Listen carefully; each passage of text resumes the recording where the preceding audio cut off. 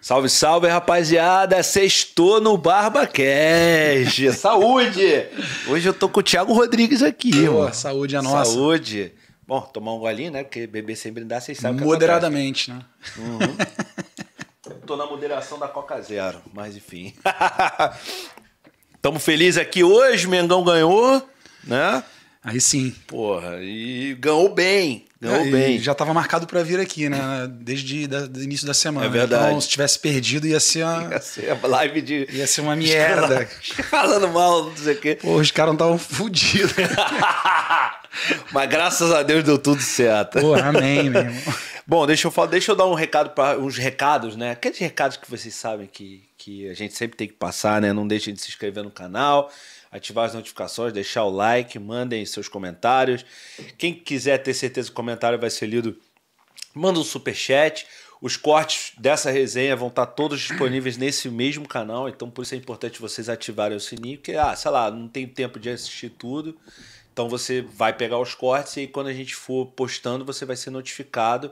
E aí fica mais fácil, né? Mas enfim, quem quiser ter o prazer, a honra, não, o prazer da nossa companhia, né? Fica aí com a gente que vai ser, vai ser legal. Show. Aqui embaixo tem alguns links, né, que a gente sempre divulga, começando pelo YouTube sem aparecer, né, para você que quer ganhar dinheiro no YouTube. O PT Jordan, que é um youtuber que tem 13 milhões de inscritos só no canal principal dele, fez um curso especificamente para ensinar a galera a ganhar dinheiro aparecendo ou não. Chama YouTube sem aparecer. O link é o primeiro da descrição. Você tem sete dias para ver o conteúdo. Se você não gostar, você pede seu dinheiro de volta sem problema. Você recebe 100% do dinheiro. Agora você vai gostar, porque depois que a gente fez, nosso canal só cresceu. É bom Boa, pra caramba, boa. vale a pena. É, o segundo link da descrição é o nosso Telegram, né? Então entra lá no nosso Telegram para ficar sabendo de todas as resenhas, de bastidores e tudo mais que a gente já teve e ainda vai ter. Tá tudo lá. Então é o segundo link na descrição. E aqui embaixo tem alguns links também de produtos da Amazon para você que quer comprar qualquer coisa na Amazon. Aqui são acho que dois Echo Dot, né, da Alexa e tal. Mas se você quiser outros produtos também, é só clicar lá e, enfim, segue à vontade. Falando em seguir, sigam as nossas redes sociais, arroba BarbaCast em tudo, menos no Twitter, que é arroba BarbaCast1. E se eu lembrar de mais alguma coisa, eu falo durante a resenha. tudo bem, irmão? Pô, tudo certo, brother. Obrigado Prazer por ter vindo tá aí. Valeu pelo convite. Pô, agradecer também ao Julinho, né, o Júlio Miguel Neto, que colocou a gente em contato. Boa, Julião. E pôde fazer essa resenha acontecer. A gente vai falar um pouquinho de Flamengo também. Mas um dia, quem sabe aí você vem e a gente fala só de Flamengo. Pô, eu gosto. É, Inclusive, sei de vez em quando faço umas lives lá com, com, com o Júlio, com o Deco, com o Gabriel, a Aham. tropa. De vez em quando eles me convidam. E aí você fala vou. pra caralho? Você... Cara, eu gosto de falar do Flamengo, né? Eu sou um apaixonado pelo Flamengo, então essas oportunidades assim a gente, a gente curte na resenha. Ah, eu também gosto, cara. Eu gosto de falar, só que tá rolando comigo no Twitter, como eu tava te falando, né?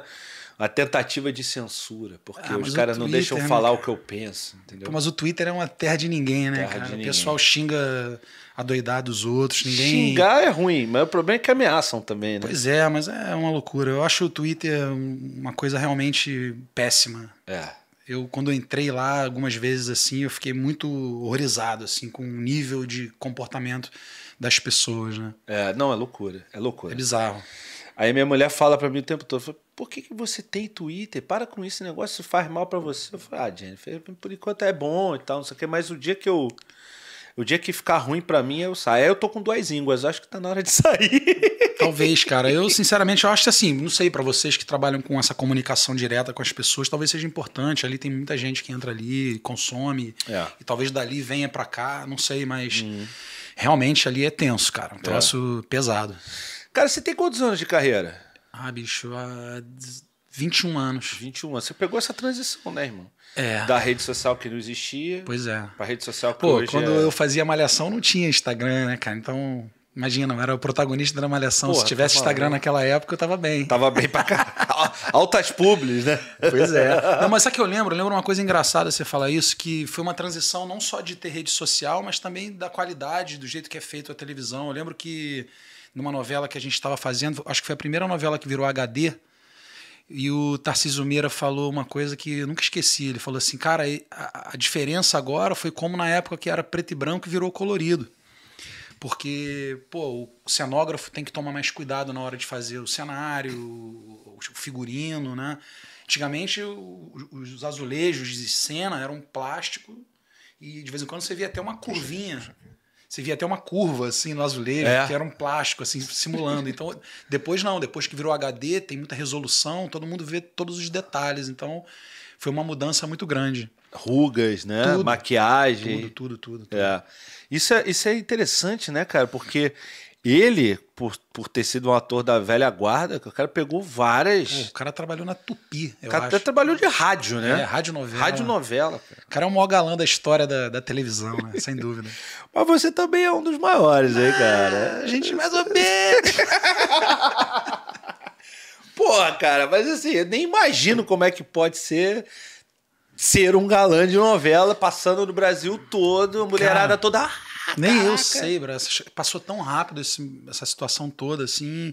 É óbvio que a gente sabe, né? O que. Eu tenho, tenho noção do que eu fiz. Fiz muita novela, trabalhei quase 16 anos lá na TV Globo. Foi um momento muito bom.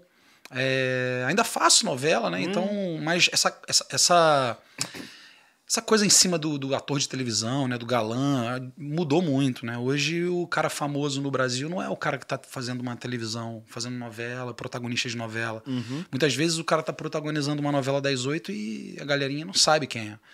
Mas o cara do YouTube, a galera sabe quem é, a galera que, né, um uhum. streamer, um youtuber, um gamer, algumas uhum. coisas assim. É, isso mudou bastante, realmente. É, tem uma concorrência maior, né? Nesse sentido, assim. É.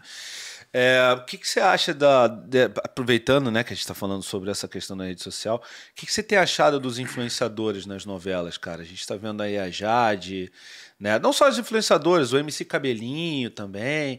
E aí acaba que tem uma, digamos, uma guerra entre o pessoal da, da do Sindicato dos Artistas, né? O Hugo Gross, que é o presidente, esteve até aqui no, no BarbaCast recentemente, falou que, que, que a opinião dele é que isso trava atores novos de entrarem, né? Porque aí a TV vai para um, uma linha onde você tem muitos seguidores, ou onde você tem.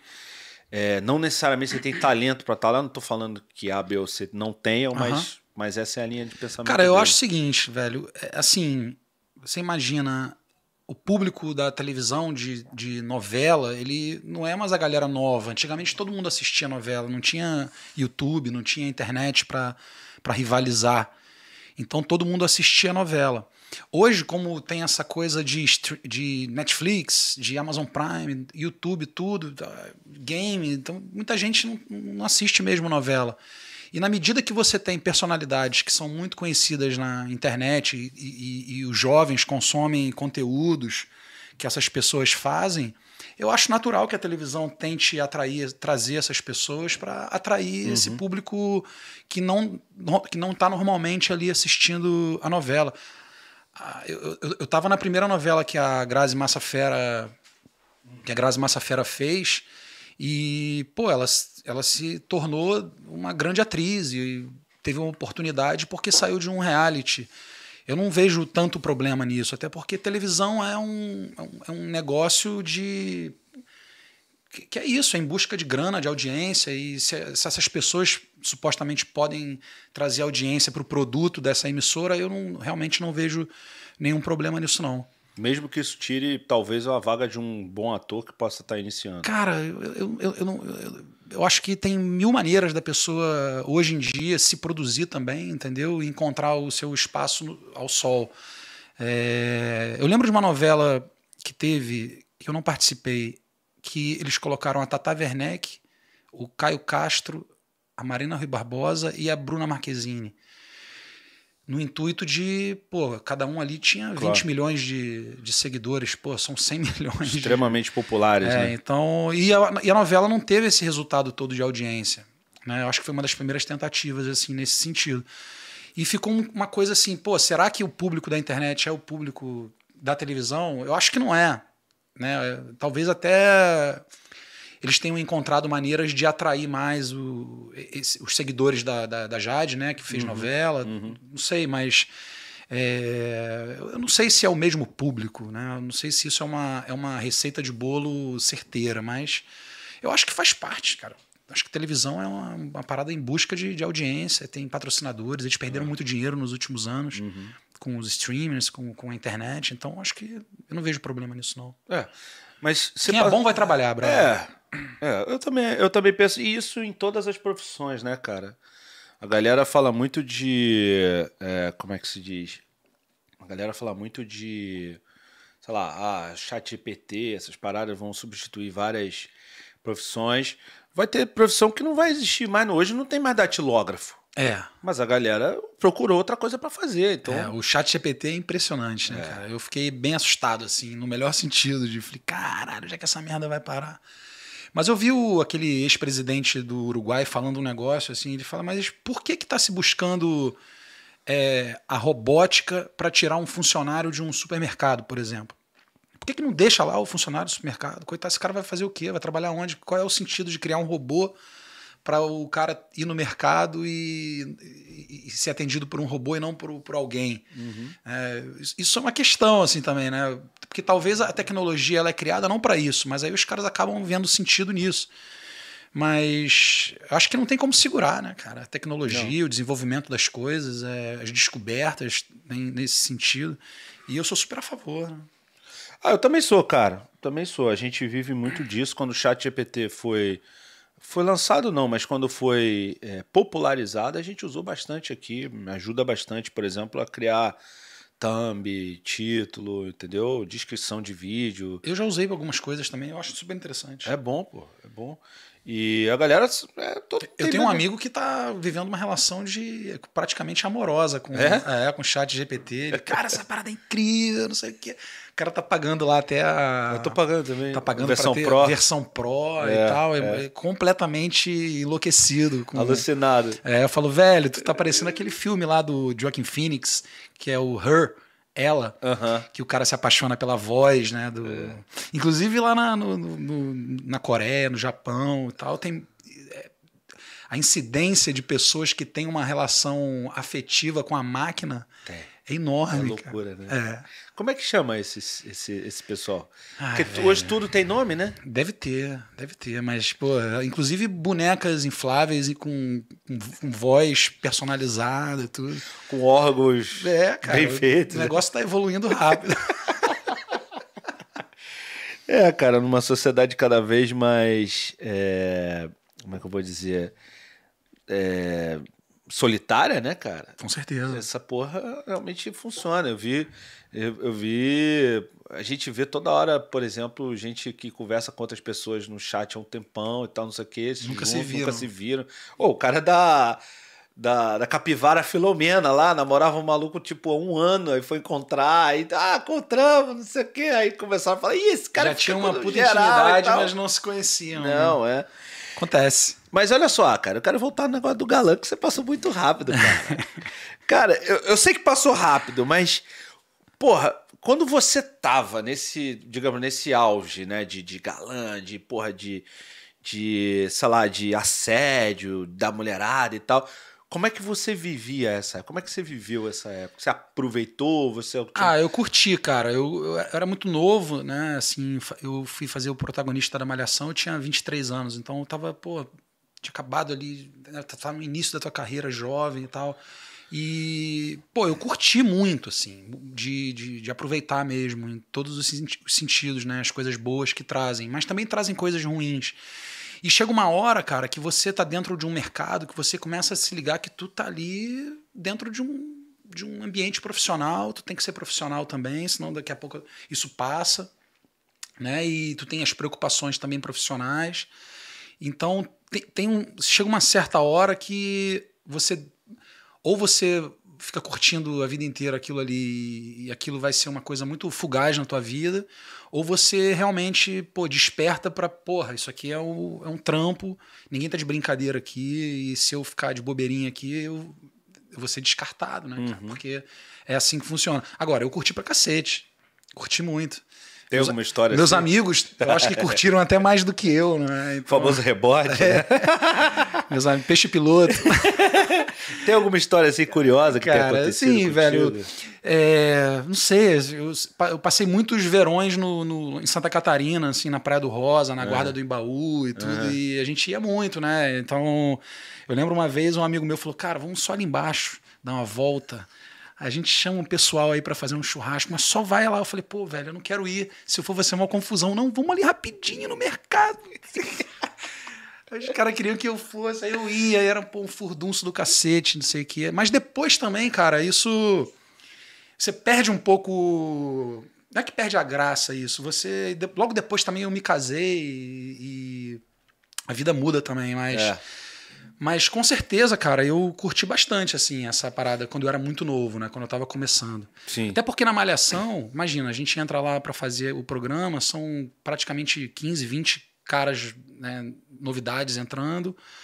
Aquilo ali tem um clima meio de colégio, sacou? O cara da produção é como se fosse um inspetor do, do colégio. Pô, vamos pro estúdio, vamos gravar, não sei o quê, vai trocar de roupa, parará, pererê. E a gente ali, pô, curtindo como se, sacou? Uma, uma euforia muito grande. Sim, sim. E, mas é aquilo que eu te falei, cara. A gente chega uma hora que tu tem que virar a chave assim pra, porra, tá, isso aqui é um trabalho. Sabe? Talento, né? É, o tu, talento vai te segurar, é né? É um trabalho, cara. Tu tem que, tu tem que entender é. que aquilo ali, ninguém tá de brincadeira ali. Sim, sim, sim. Mas aí passa. É, você, você falou da Grazi, né? Você também trabalhou com, com Cauã Raymond. Trabalhei, né? trabalhei. E, porra, talvez tenha sido um dos atores, assim, um dos casos mais claros de evolução na televisão brasileira, pelo menos recentemente, assim, de um cara que era um ator, assim, mediano, né? Assim, na minha visão, lá cara, na Malhação. Eu, eu trabalhei com é um o Cauã. muito talento hoje é, em dia. Não, o Cauã é o seguinte, cara. A minha visão do Cauã, eu, eu, eu acho que ele sempre teve é, vocação para esse trabalho, assim, que é um trabalho de muita disciplina, sacou? Ele é um uhum. moleque muito obstinado. Ele quando traça os objetivos dele, ele é muito obstinado. A gente trabalhou junto na Favorita, que foi uma novela das oito. Mas eu já conhecia o Cauã, assim, de amigos em comum. A gente já tinha até viajado para Búzios junto, com uma turma de amigos, com 15 anos e tudo. É, eu admiro isso nele, cara, porque essa obstinação que ele teve em dar a volta, né, em cima de críticas, que ele teve uhum. muito, não é fácil, sabe? Não, é, não. Deve ter sido difícil para ele, quando era muito novo também, absorver tudo isso e, e manter o, né, o objetivo dele firme. Não, eu não sei porque depois a gente perdeu um pouco o contato, mas a gente teve o mesmo agente, mesmo empresário durante muito tempo. E o que eu sei é isso, que eles, porra, deram uma volta, né, cara? O Cauã hoje é produtor executivo de filme, dos filmes que ele faz, de algumas séries que ele faz, e, pô, é um cara super admirável, né? E virou um grande ator, né? É, pois virou é. um grande ator. É, eu, eu, eu digo isso porque, por exemplo, a gente tem praticamente a mesma idade. Então a gente vai lembrar do cigano Igor, né? É, é um do Ricardo Mack. É, né? Que sempre foi um cara. Ele evoluiu um pouquinho, mas ele tinha sempre aquele. aquele o Cacete Planeta zoava muito, é. porque era o cara que não. Chegando andar, chegando Igor e a Ciganandara e é tudo mecânico e tal. Esse apanhou, né? Esse cara? apanhou. Ele apanhou bastante, né, cara? Mas é porque, assim, ali naquele caso, eu não lembro qual diretor que escalou ele, talvez tenha sido o Wolf Maia escalou ele assim pela questão dele ser um modelo muito bonito uhum. e tal e achou que ele ali fosse com o tempo né horas de voo né pegar uma sagacidade ali e realmente não aconteceu e aí ele apoiou bastante deve ter sido foda para ele Sim, também imagina. claro que é. mas ele também fazia muita propaganda né ganhava o dinheiro dele também não e foi ele foi goleiro do nosso futebol de artista durante muito é tempo mesmo é. era bom goleiro mais ou menos Ou seja, era um cara que era muito bom modelo. O resto, mais ou menos. Mas, como você falou, mais ou menos. Mais ou menos. Mais ou menos. cara, é, você falou do Wolf, né? Eu tenho que trazer, então, para a mesa uma história que saiu agora. Né? Agora não, recentemente do Frota, dizendo que é, o Wolf deu uma encurralada nele lá para. Bom, nunca se sabe o que é verdade e o que não é né? Que me deu uma encurralada lá pra, pra dar uns pegas nele e tal. Uma parada assim. Esses papos de assédio, é, assim. É. E, cara, você, por ter sido galã, por ser um cara bonito, assim, as mulheres que falam. pô, né? O Gabriel disse, nossa, ele é bonito. Qual foi, Gabriel? Foi, falou, pô, ele é bonitão. né, Gabriel? Ele anda muito com os moleques do CPX, né? Os hum, moleques que fazem uns conteúdinhos, entendeu? Aí eu acho que isso ele tá afetando ele. Mas tudo bem, Gabriel. Faz 2023, parte. cara. Pode assumir, cara. Tá até com a cor correta, olha ali, ó. Enfim, tô brincando. Uh, mas assim, é, você sofreu com isso na Globo, cara? Porque eu já vi gente falando, já, já teve gente aqui falando disso, né? Assim, que sofreu, que viu acontecer e tudo mais. Você, por ser um cara bonito assim e tal, você chegou a sofrer alguma coisa nesse Cara, eu sentido? nunca ouvi nada assim. Eu, eu nunca trabalhei com o Wolf, tá? É, até conheço o Wolf. Sou muito amigo da filha dele. Mas nunca.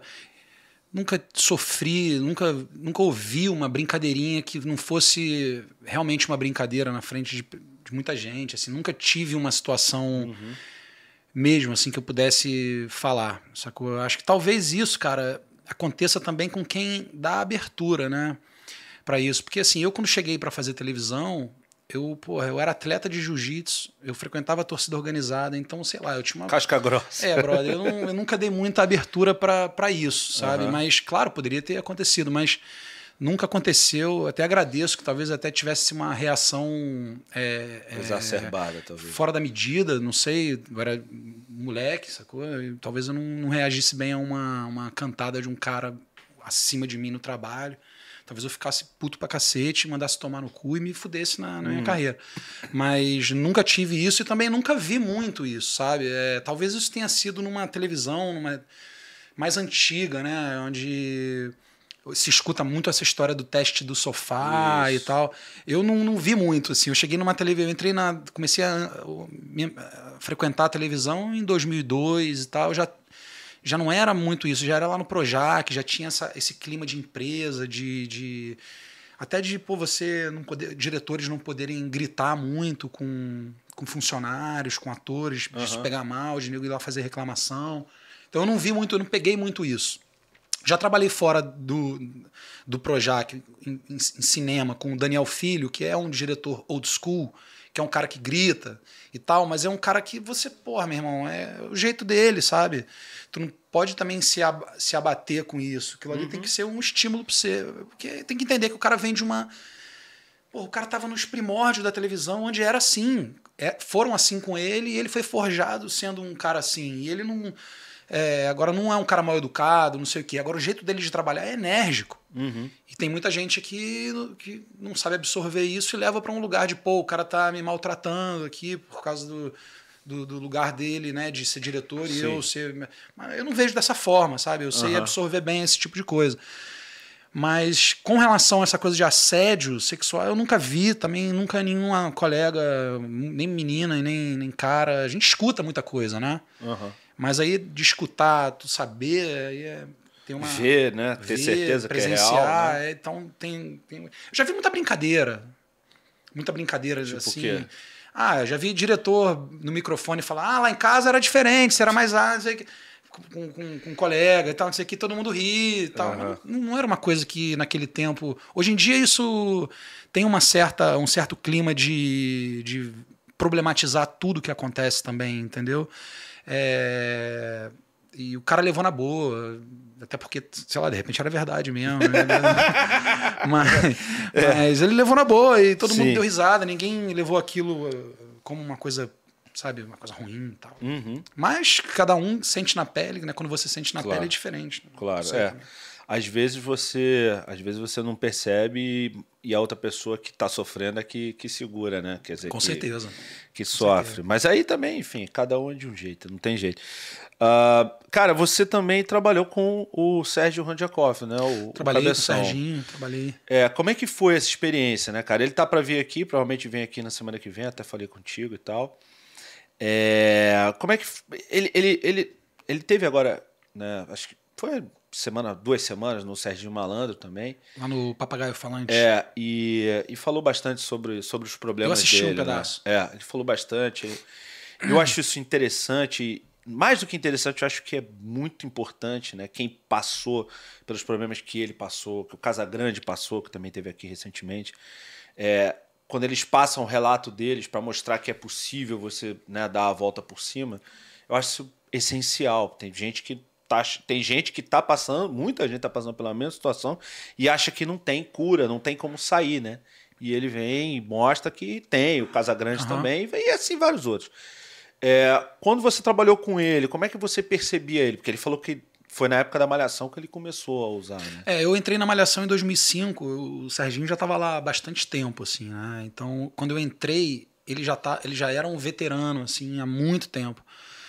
É, cara, o Serginho sempre foi um baita de um, de um colega, um moleque muito introspectivo, sabe? No início, quando você a gente não se conhecia muito ali, quando eu cheguei, eu achava ele bastante introspectivo, uma certa impaciência que ele tinha, assim, com, com o dia a dia, né, ali de, da gravação.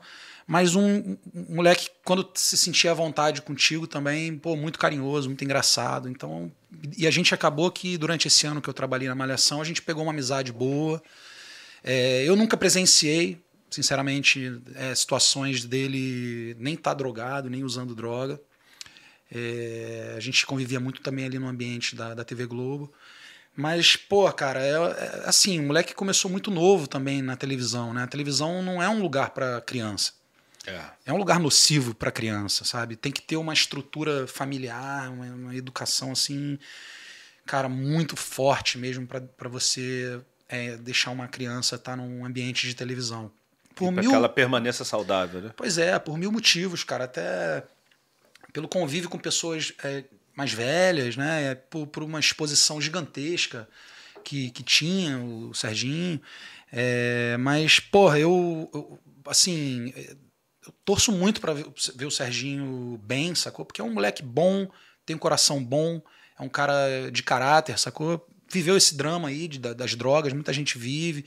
E às vezes as pessoas que vivem esse problema de, de ser viciado também às vezes ficam com muita vergonha depois, quando estão se recuperando, né, de falar sobre. Eu acho super importante, porque nesse momento, quantas pessoas não estão aí em depressão, é, é, drogadas, mesmo perdendo tudo que conquistaram na vida. E o Serginho perdeu, ele é um exemplo mesmo vivo. Eu, eu assisti lá no Sérgio ele falando, Sérgio Malandro.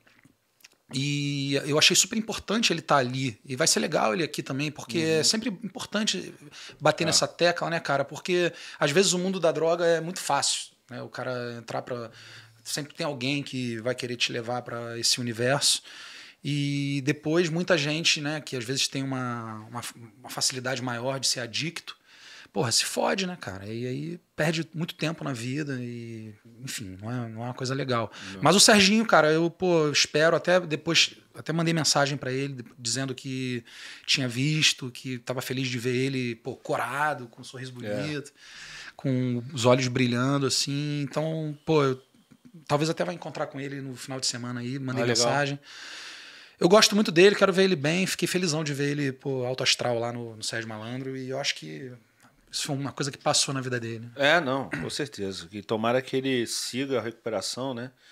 Porque a galera fala que é um bagulho que não tem cura, né? Mas que você fica tratado, você permanece tratado, evita algumas situações para não. É, eu tenho um amigo meu que é ex-adicto, ele não pode beber uma cervejinha mais, assim. Ele vai no churrasco, quando dá seis, sete meia, ele vai embora, a gente fica até duas da manhã, ele vai embora, mas ele vai. Mas não, não bebe uma cerveja uhum. porque acho que a cerveja é uma. É, né, abre né, a energia claro. dele para droga. Então, mas ele é um claro. cara que hoje está bem também, estabilizou, está ganhando dinheiro dele, família. Uhum. Mas durante um tempo foi o oposto. É, o Casagrande, não, não só ele, assim, o Michel também, né? O Michel do. Michel do Flamengo? Do Flamengo, ele foi. Jogou no Flamengo? É, ele foi viciado. É mesmo? Antes disso, né? Antes de virar jogador. Ele era da Várzea, né? É, ele era da Várzea, ele, ele traficou e tal. Enfim, a história dele é bem pesada. É, a história dele é bem pesada.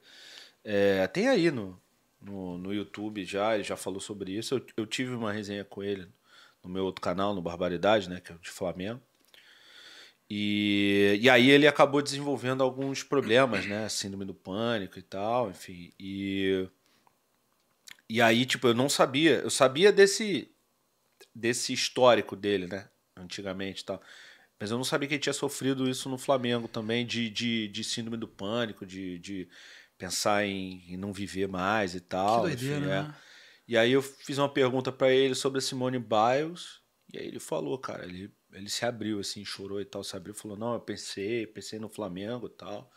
Eu olhava, eu fui eu fui para uma concentração, tava sozinho no quarto, fiquei olhando para a janela, pensando e tal. Falei, que loucura, cara. Eu não sabia. Nunca imaginei isso daí. Nem eu. Aí, tipo, porra, é, eu lembro que, obviamente, não é graças a mim, mas eu acho que isso deve ter colaborado um pouco depois dele ter falado, depois dele ter se aberto sobre esse problema ainda no Flamengo. Tanto que ele falou que o Jorge Jesus foi importantíssimo na. na Porra, que saudade do velhinho, nem fala. O Diego, ele falou, ele citou o Jorge Jesus, o Diego, o, pô, o Rafinha e mais um, é, que eu não lembro se foi o Diego Alves, ou se foi o Arão, ou se foi outro, não lembro. Caras foram essenciais na recuperação dele, né, nesse, desse momento e tal. É, e aí, tipo, é isso, cara. Depois que ele falou, ele começou a jogar muito melhor. Porque acho que a galera, cada vez que você fala mais sobre esse problema, você fica mais leve, né? É, e também assim, cara, o Michael veio do, do Goiás, né, cara? É. Chega no Flamengo, tua vida amplifica, né, cara? É. Tu, porra, tudo superlativo. O Flamengo é a maior torcida do Brasil. 70% dos, das resenhas em todos os canais é só Flamengo. Os caras até falam, pô, é Flá TV essa porra. então o cara entra ali e realmente deve ser, é. um, deve ser um baque, né? Tu sair do Goiás e vir pro Flamengo, é. ter uma, uma ascensão ali. Não, mas lá ele já tinha. Lá ele já tinha. Essas, é, ele foi um dos melhores jogadores do, é. do Goiás. Né? É, e aí ele. E aí ele tem a mesma parada, ele não vai nas festas, ele não vai. É, ele não sai à noite, à noite ele fica em casa com a esposa, só sai à noite se for pro jogo, né? É. Estão ventilando ele aí, voltar pro Brasil aí, ah, né? Seria uma boa vir para o Flamengo, pois né? É. Mas, enfim, infelizmente o Flamengo investiu em outros ao invés dele. Então, Verdade. Eu espero que ele ainda volte. O Flamengo tem dinheiro pra caralho, né? Dá pra gastar. O Flamengo não é uma instituição com fins lucrativos, então. Pois é, mas eu acho que isso aí é ruim pro Flamengo, sabia? Porque hoje em dia, tu vê, o cara vai negociar com o Flamengo, o cara já vai pedir lá em cima, né? É, mas também só negocia com o Flamengo. É. Né? E, Alando e, do Atlético Mineiro, quem que vai pagar 40 milhões? Não, e quem sai do Flamengo vai jogar onde com esse salário que é, ganha no Flamengo? No... Vê o Marinho aí, São Paulo? São Paulo não tem como pagar o salário do Marinho quer que o Flamengo pague uma parte. Ó, mandar um salve aqui pra Ellen Matias, que disse que é sua fã desde Ellen a Matias, época. mandar um beijo pra Ellen, que a Ellen ela entrou. Eu tava lá no, no podcast do Sérgio Malandro e ela mandou mensagem e tal, mandou um direct pro meu Instagram. Ah, a gente, eu, agora a gente se fala no Instagram eventualmente. Manda um beijo aí pra Ellen. Valeu. Ellen, o Divino 91 falou: o melhor personagem dele foi Tobias. Tenho 32 e ainda assisto Tobias no YouTube. Tobias foi do caralho. Tobias foi um personagem que eu fiz, cara, na Record. É uma novela chamada Amor Sem Igual. É. E era um vilão, né? E quando eu recebi lá a sinopse, era um vilão, mas um vilão muito mal, assim. Parecia o Lex Luthor, um cara muito mal. E eu falei, cara, isso vai ficar estranho, é muito mal, não, tem, não é humano esse cara ser tão mal assim. Aí eu falei, eu fui, eu fui fazendo nos primeiros capítulos assim, eu fui vendo que dava para botar uma sacanagem ali. Ah. Um humor, sacou? Uhum. Um cara meio arregão, sacou? Um cara bem inseguro, arregão. Eu criei um subtexto que esse cara era viciado em cocaína. Não mostrava, óbvio, mas eu é. queria. Esse cara é viciado, esse cara é, é, é inseguro, é arregão, é broxa. Eu comecei a pensar um monte de coisa. E eu comecei a botar comédia ali, tá? Assim, no, no, no personagem. E eu lembro que no inicinho, o, os diretores, sem ser o geral, eles falavam, mas o que, que isso tá fazendo? Eu falei, não, cara, eu já conversei com o diretor geral, ele já tá, ele tá, ele tá comprando meu barulho. E a autora tá gostando também, falou que é pra eu ir nesse caminho que ela tá agora escrevendo nesse sentido. E aí, pô, rolou, cara. Foi uma novela inteira que eu fiz e quando terminou eu, pô, fiquei mal, porque eu me divertia muito fazendo o personagem. Uhum. Era um puta de um sacana, puta, era muito legal fazer. Deixa eu ver se você tá centralizado ali na câmera. Tá bonitinho. Tá, tá, tá centralizado. É, o engraçado, o, o como é que é o nome dele, cara? Do Tropa, o Sandro Rocha veio aqui. O Sandro Rocha também fez umas. O Sandro Rocha. O Sandro Rocha do Tropa de do Elite. Do Tropa de Elite, é. é. é. Cada cachorro que lamba sua caceta. É, ele, não, falava, ele fala um monte de frase. E aí ele. Ele era miliciano, né? É, é. Aí ele, ele fez uma novela também, ele fez um vilãozão também. E aí esse vilão era pra morrer no capítulo 20 e deixaram. Deixaram, porque ele mandou bem pra caralho, é. não sei o que. Não, não dá ele é bom de vilão, né, vilão, o Sandro? É. e como é que, pô, é, é interessante saber como é que é fazer vilão, cara. Porque, pô, é.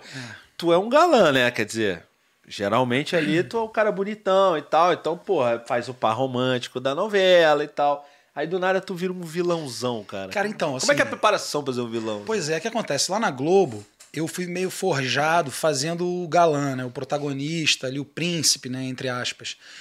E por... Até anjo tu fez, não foi? É, brother, mas aí que acontece? Tu, tu, tu começa a repetir muito aquele padrão ali, porque tu acaba virando... A, o Thiago é galã, então toda novela galã eu tô ali cogitado para fazer. Então você dentro da, da TV Globo ali, não, eu, não, eu não conseguia ter muito espaço para almejar fazer coisas diferentes disso. Uhum. É, então na TV Globo eu repeti muito esse padrão de fazer galã, fazer o, o, bonzinho e tal. E pô, você como ator, tu quer fazer outras coisas, né, cara? Uhum. Tu, quer, tu quer andar por outros lugares, assim. E ali eu não tinha muito essa oportunidade. Depois que eu saí da TV Globo, pô, eu fiz, fiz comédia, né, série, fiz Fiz o vilão lá na, na, na Record e, Sim. porra, isso me trouxe uma, uma satisfação profissional que eu nunca tinha tido, assim. Isso não quer dizer que eu não sou grato, né, claro, né? Óbvio. Tudo que eu fiz e tal. Uhum. Mas era muito difícil ali no esquema que eu tava na Globo eu fazer, eu, eu ter a oportunidade para fazer um vilão, um personagem de comédia, coisa que depois eu vim fazer e eu acho muito, muito bem fora. Uhum. E mas fazer o vilão, cara, fazer o vilão é, é, muito bom, né, cara? Porque você exercita uma situação ali de meio que ser o que tu não é na tua vida normal, uhum. falar coisas, barbaridades que você não fala na tua fazer, vida normal, né? fazer tudo. E é super divertido também. Ah, isso é e, e, e, de alguma maneira também, de um tempo para cá, as pessoas começam a torcer muito pro vilão também. Ah, sim. É. Gostam do sacana, né? Sim. Sim. Gostam do cara, pô, o cara é, é, é, muito mais interessante, tu, porra, o vilão do que o mocinho. É, tem correto. gente que gosta mais do Darth Vader do que qualquer outro personagem do é. Star Wars, por exemplo. Pois e é, um é. puta vilão. Mas é que o, o vilão, ele tem. É, tu vê o, o Joker, né? O Coringa. Que personagem, que, porra, que, que, é muito interessante, é muito vasto o universo psicológico desse cara. Como é que esse cara se tornou essa aberração social, esse cara perigoso, esse cara né, que faz qualquer coisa para ter o que quer. Então, esse, é, acho que a, a, questão psicológica, né, de você avaliar do personagem, do vilão, é muito mais profunda e interessante do que a do mocinho, que é um, uma pessoa correta, que tal. Isso aí a gente está cercado de pessoas ao nosso redor legais, pessoas boas. Mas vilões, assim, a gente pode até topar na vida com uns Opa. assim. Mas não é tão normal, não, né? Não é. Graças a graças Deus. A né? Deus graças a Deus. Nossa vida seria como? Aí a Ellen tá perguntando aqui, quando é que você volta para as novelas? Pô, eu não sei, cara. Eu tive agora próximo de fazer um trabalho na televisão de novo, não, não rolou é, por é, questão de, de agenda, personagem mudou, um monte de coisa assim. Eu tenho possibilidade de pra, voltar para Portugal, fazer novelas lá também. Uhum. É, tô, tô meio que praticamente dentro de um projeto de uma série aqui no Brasil também, mas Legal. ainda não, não, posso falar porque ainda não assinei, uhum. não, gosto de falar. Mas tô, tô aí, cara, tô no mercado, tô desenvolvendo também coisas minhas, minha relação com o mundo do vinho. Hoje está virando é, uma possibilidade também de um podcast, de, de, Legal, é, de, de, de, todo um projeto enorme que eu tô fazendo com, no mundo dos vinhos, que é uma paixão que eu tenho assim na, na vida. E isso está tomando tá tomando conta um pouco do, do, do, meu, do meu desejo profissional, né? Uhum. E fora que eu também agora tô, tô escrevendo também, tô negociando um, um argumento meu junto com um roteirista amigo meu, com uma produtora, a gente está batalhando para fazer isso acontecer e tentar fazer esse filme lá em Portugal. Então a gente vai amadurecendo, é. né, a nossa maneira de estar dentro da nossa profissão. Pô, maneiro, cara. Não só esperar um telefone tocar, ó, oh, quer fazer ali um personagem, é legal. Pô, eu já trabalho com isso há muito tempo, já fiz, sei lá, 18, 20 novelas e, e eu me amarro em fazer, tenho uma paixão nisso. Mas você começa a querer se meter em outras coisinhas uhum. do, do game, né? Pô, isso, isso, é, isso é o desenvolvimento, né? É. E ainda mais hoje em dia que que dá tem tanta coisa para fazer, né? Com cara? certeza. Tanta TV, fora da TV, streaming, o caramba. Então, pô, é, tem muita muito mais possibilidade, né? Com cara? certeza. É, falando da Globo em si, você ficou lá há 16 anos, né? É, quase 16 anos. Quase 16 anos. É, como, é que, como é que foi esse período assim, de 16 anos, né? Onde era uma televisão diferente, uma televisão muito mais poderosa financeiramente, era um poder aquisitivo gigante, tinha centenas de, de atores é, exclusivos, você era exclusivo, né? Como é que foi viver essa época? E, e, e se você viu depois, se chegou a ver esse início desse declínio? Não, não que seja um, não que a Globo seja pobre, esteja pobre ou seja, né? Mas enfim, houve um, uma redução drástica da grana, né? Então assim, é, como é que foi essa época para você? Cara, eu, assim, eu, eu, eu, eu, não cheguei a pegar o Boni, né? Diziam que o Boni era um cara de, pô, é, muita fartura, comida no estúdio, e os atores tinham liberdade total de fazer. Era muita luxúria, muita coisa assim mesmo do glamour da televisão. Eu, quando cheguei, estava tava num processo assim já de das coisas já diferentes, mas uhum. era. Pô, eu fui contratado renovando três, três, três anos, três anos mais um, três anos mais um, pô, de 2004 a. Enfim, até quando eu saí era, era, é, eu, eu vi mudar assim isso, né? E também vi no meio disso tudo, como a gente estava falando, surgir a internet e, e, e, a audiência sair um pouco da televisão e ir uhum. para a internet, para os streamings.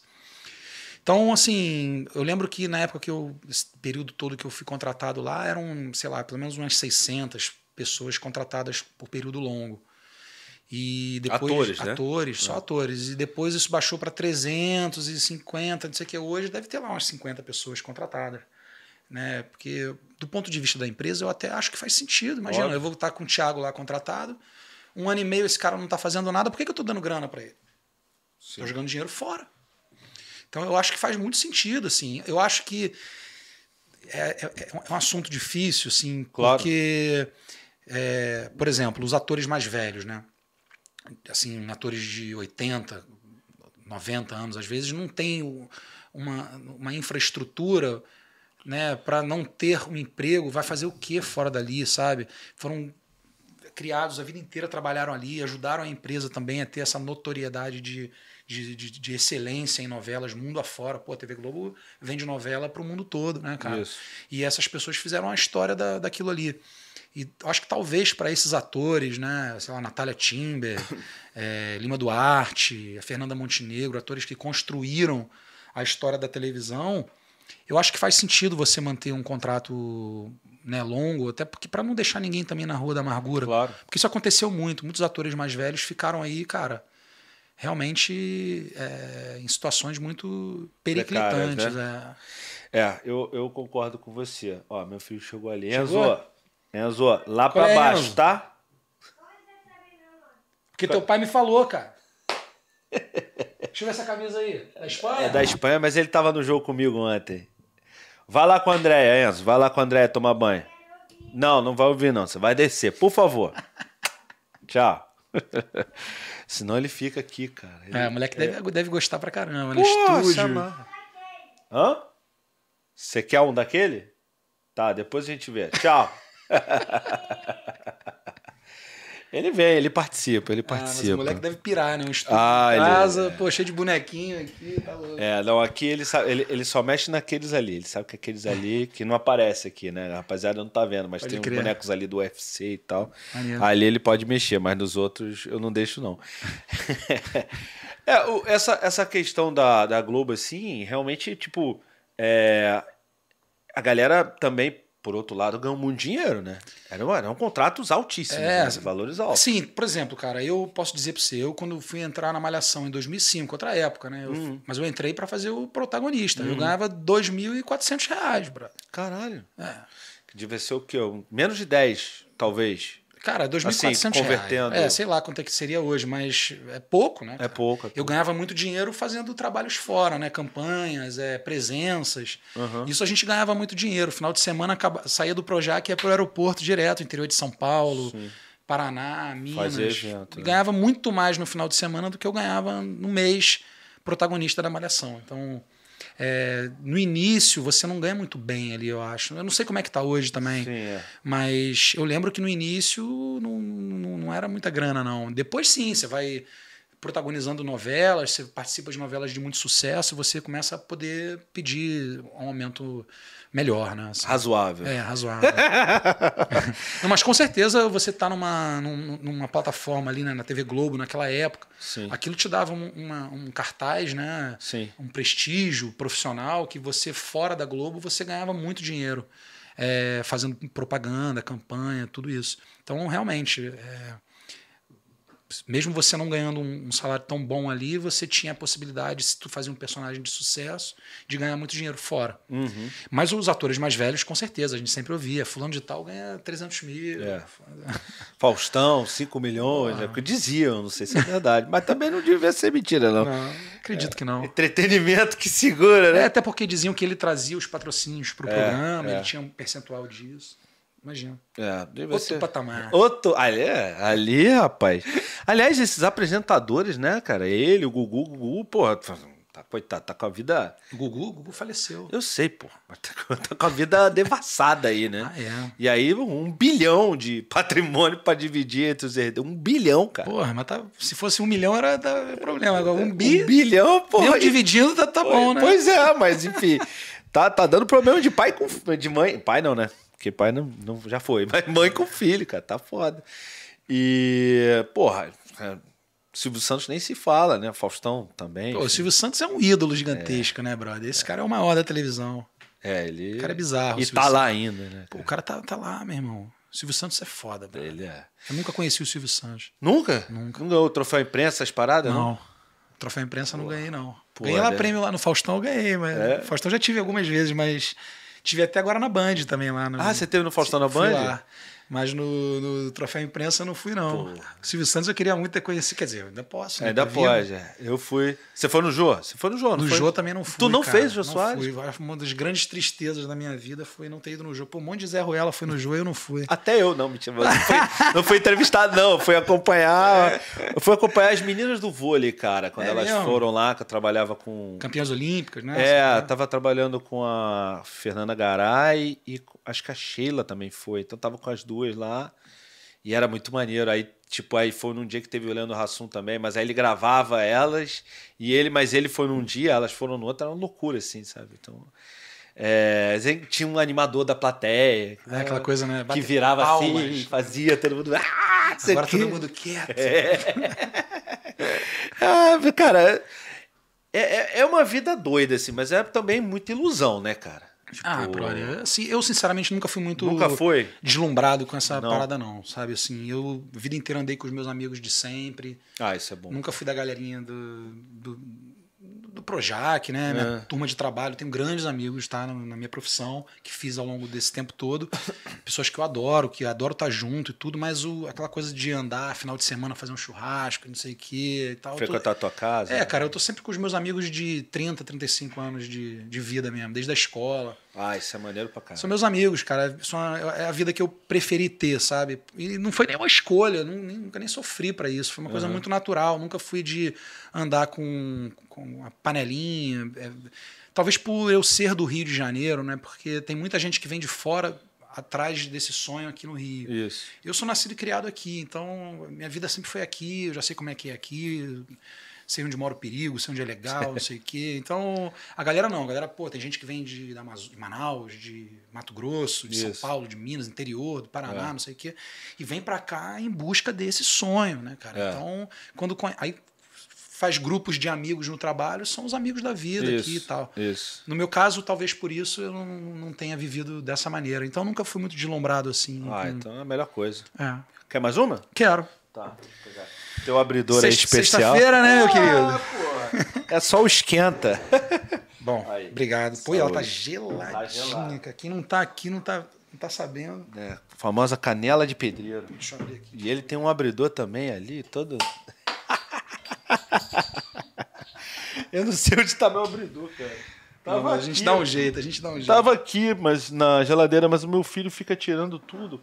Aí eu não sei onde tá. Teu filho tá quantos anos? Seis. Você tem um filho tem, também? o meu vai fazer 14 agora, 14, dia 4. cara? Hoje é que dia? Hoje dois. é dois. Depois de amanhã. Por enquanto. Depois de amanhã. Por enquanto. É. Cara, é, foi bom você tocar nesse assunto, porque né, tem algumas questões sobre isso que de vez em quando saem na imprensa uhum. e tal. E às vezes esse, esse, tipo de oportunidade de um podcast onde você não tem limite de fala e nem vai ter edição depois para. Uhum. Tipo, a gente está falando aqui, sei lá, quase uma hora. É, não, não tem edição, o máximo vai ter são os cortes, né? É, e de vez em quando, né, tem essa a questão da, da tua ex-esposa, da Cris, né, que te expõe de alguma maneira, fala que você não paga pensão às vezes e tal, não sei o quê. Como é que é isso, cara? Como é que você se vê nessa situação? Porque eu tive aqui o, o, o Dado, o Dado Labella, né? O Dado também teve alguns problemas né, parecidos. Acho que ele até, enfim, chegou a ser preso, eu acho, por causa Foi. disso. E aí ele tava, e ele falou uma coisa que no final das contas ele tem razão, né? Porque, por exemplo, quando ele foi, quando ele teve esse problema e acabou sendo preso, ele falou: "Pô, como é que eu vou pagar a pensão preso, preso, sem ter como trabalhar?" É. Então é meio, é meio, né, ambíguo isso. Eu queria saber como é que tá a relação de vocês, como é que você vê esse tipo de coisa. Cara, é assim, primeiro que ninguém gosta de ter a vida exposta né, com uma situação dessa. Você abre a internet, está lá cheio de, de notícia e a gente sabe que hoje as pessoas não estão interessadas em saber o que está acontecendo de verdade. Elas querem aproveitar aquilo ali, porrada, e te pichar e não querem saber o que está acontecendo. Depois eu até, fi, até fiz um vídeo, botei no meu Instagram falando sobre isso, mas ninguém é, dá, amplifica isso. É. Sacou? Uhum. É, é como um jornal que perde um processo contra você que, sei lá, ele te denegriu, falou mal de você, você ganhou na justiça o direito de resposta, ele coloca ali uma um pequenininho Notinha. ali, ninguém vê, ninguém tá nem aí para saber também. Aí tem outro lado também que é o seguinte, você quando é com você, tu sente muito aquilo, né? Para você tá todo mundo também só pensando naquilo, todo mundo te julgando, achando que você é um monstro, que você é um merda de um pai e o cacete. Mas eu também, de vez em quando, tô na internet, eu passo por notícias desagradáveis de pessoas e aquela merda eu vejo e já não, não sei mais, sacou? Não tô, uhum. não tô muito preocupado com isso. Uhum. É, é aquela coisa, jornal de ontem, notícia de anteontem. Isso. Jornal de hoje, embrulho peixe de amanhã. Uhum. É, mas no caso, o que é importante dizer é o seguinte, cara. É, eu transferi minha vida toda para Portugal. Depois que eu fui morar lá, morei lá há quase quatro anos. Uhum. E, então eu tinha uma, uma certa burocracia para trazer dinheiro para pagar a pensão aqui. E, enfim, eu nunca tive interesse de estar tá em, em, guerrilhas públicas com a mãe do meu filho. Eu tenho o maior carinho, o maior respeito por ela. É, ela encontrou essa maneira de, de, de, de, brigar pelos direitos dela, né, usando a mídia e tal. Eu não acho a melhor maneira. A gente já hoje, inclusive, a gente tem acordos com advogados e, e, e com juiz, né, vara da família, que é, para que isso não aconteça mais porque não é bom para ninguém, não é bom para mim, não é bom para ela, não é bom para nosso filho, isso. que é o mais importante. É. Até porque o moleque vai fazer 14 anos, já tem acesso a isso tudo. Eu nunca, nunca tive esse interesse, sempre tentei um, um, é, mostrar de verdade que era, era, um problema que eu tinha é, para pagar a pensão, por causa dessa burocracia de trazer dinheiro e pô, que ela tivesse um mínimo de compreensão para que um, dois dias eu resolvesse. E isso nunca aconteceu. Mas, cara, assim, no fundo, é... eu, eu quero estar tá bem com ela, eu quero estar tá bem com meu filho, sabe? Ela é uma ótima mãe, ela sempre foi uma profissional também admirável, sempre foi teve no topo na, na carreira dela. Uhum. Então eu admiro muito ela como mãe, como, como profissional. A gente viveu uma história junto. Eu não tenho nenhum interesse de estar brigado com ela.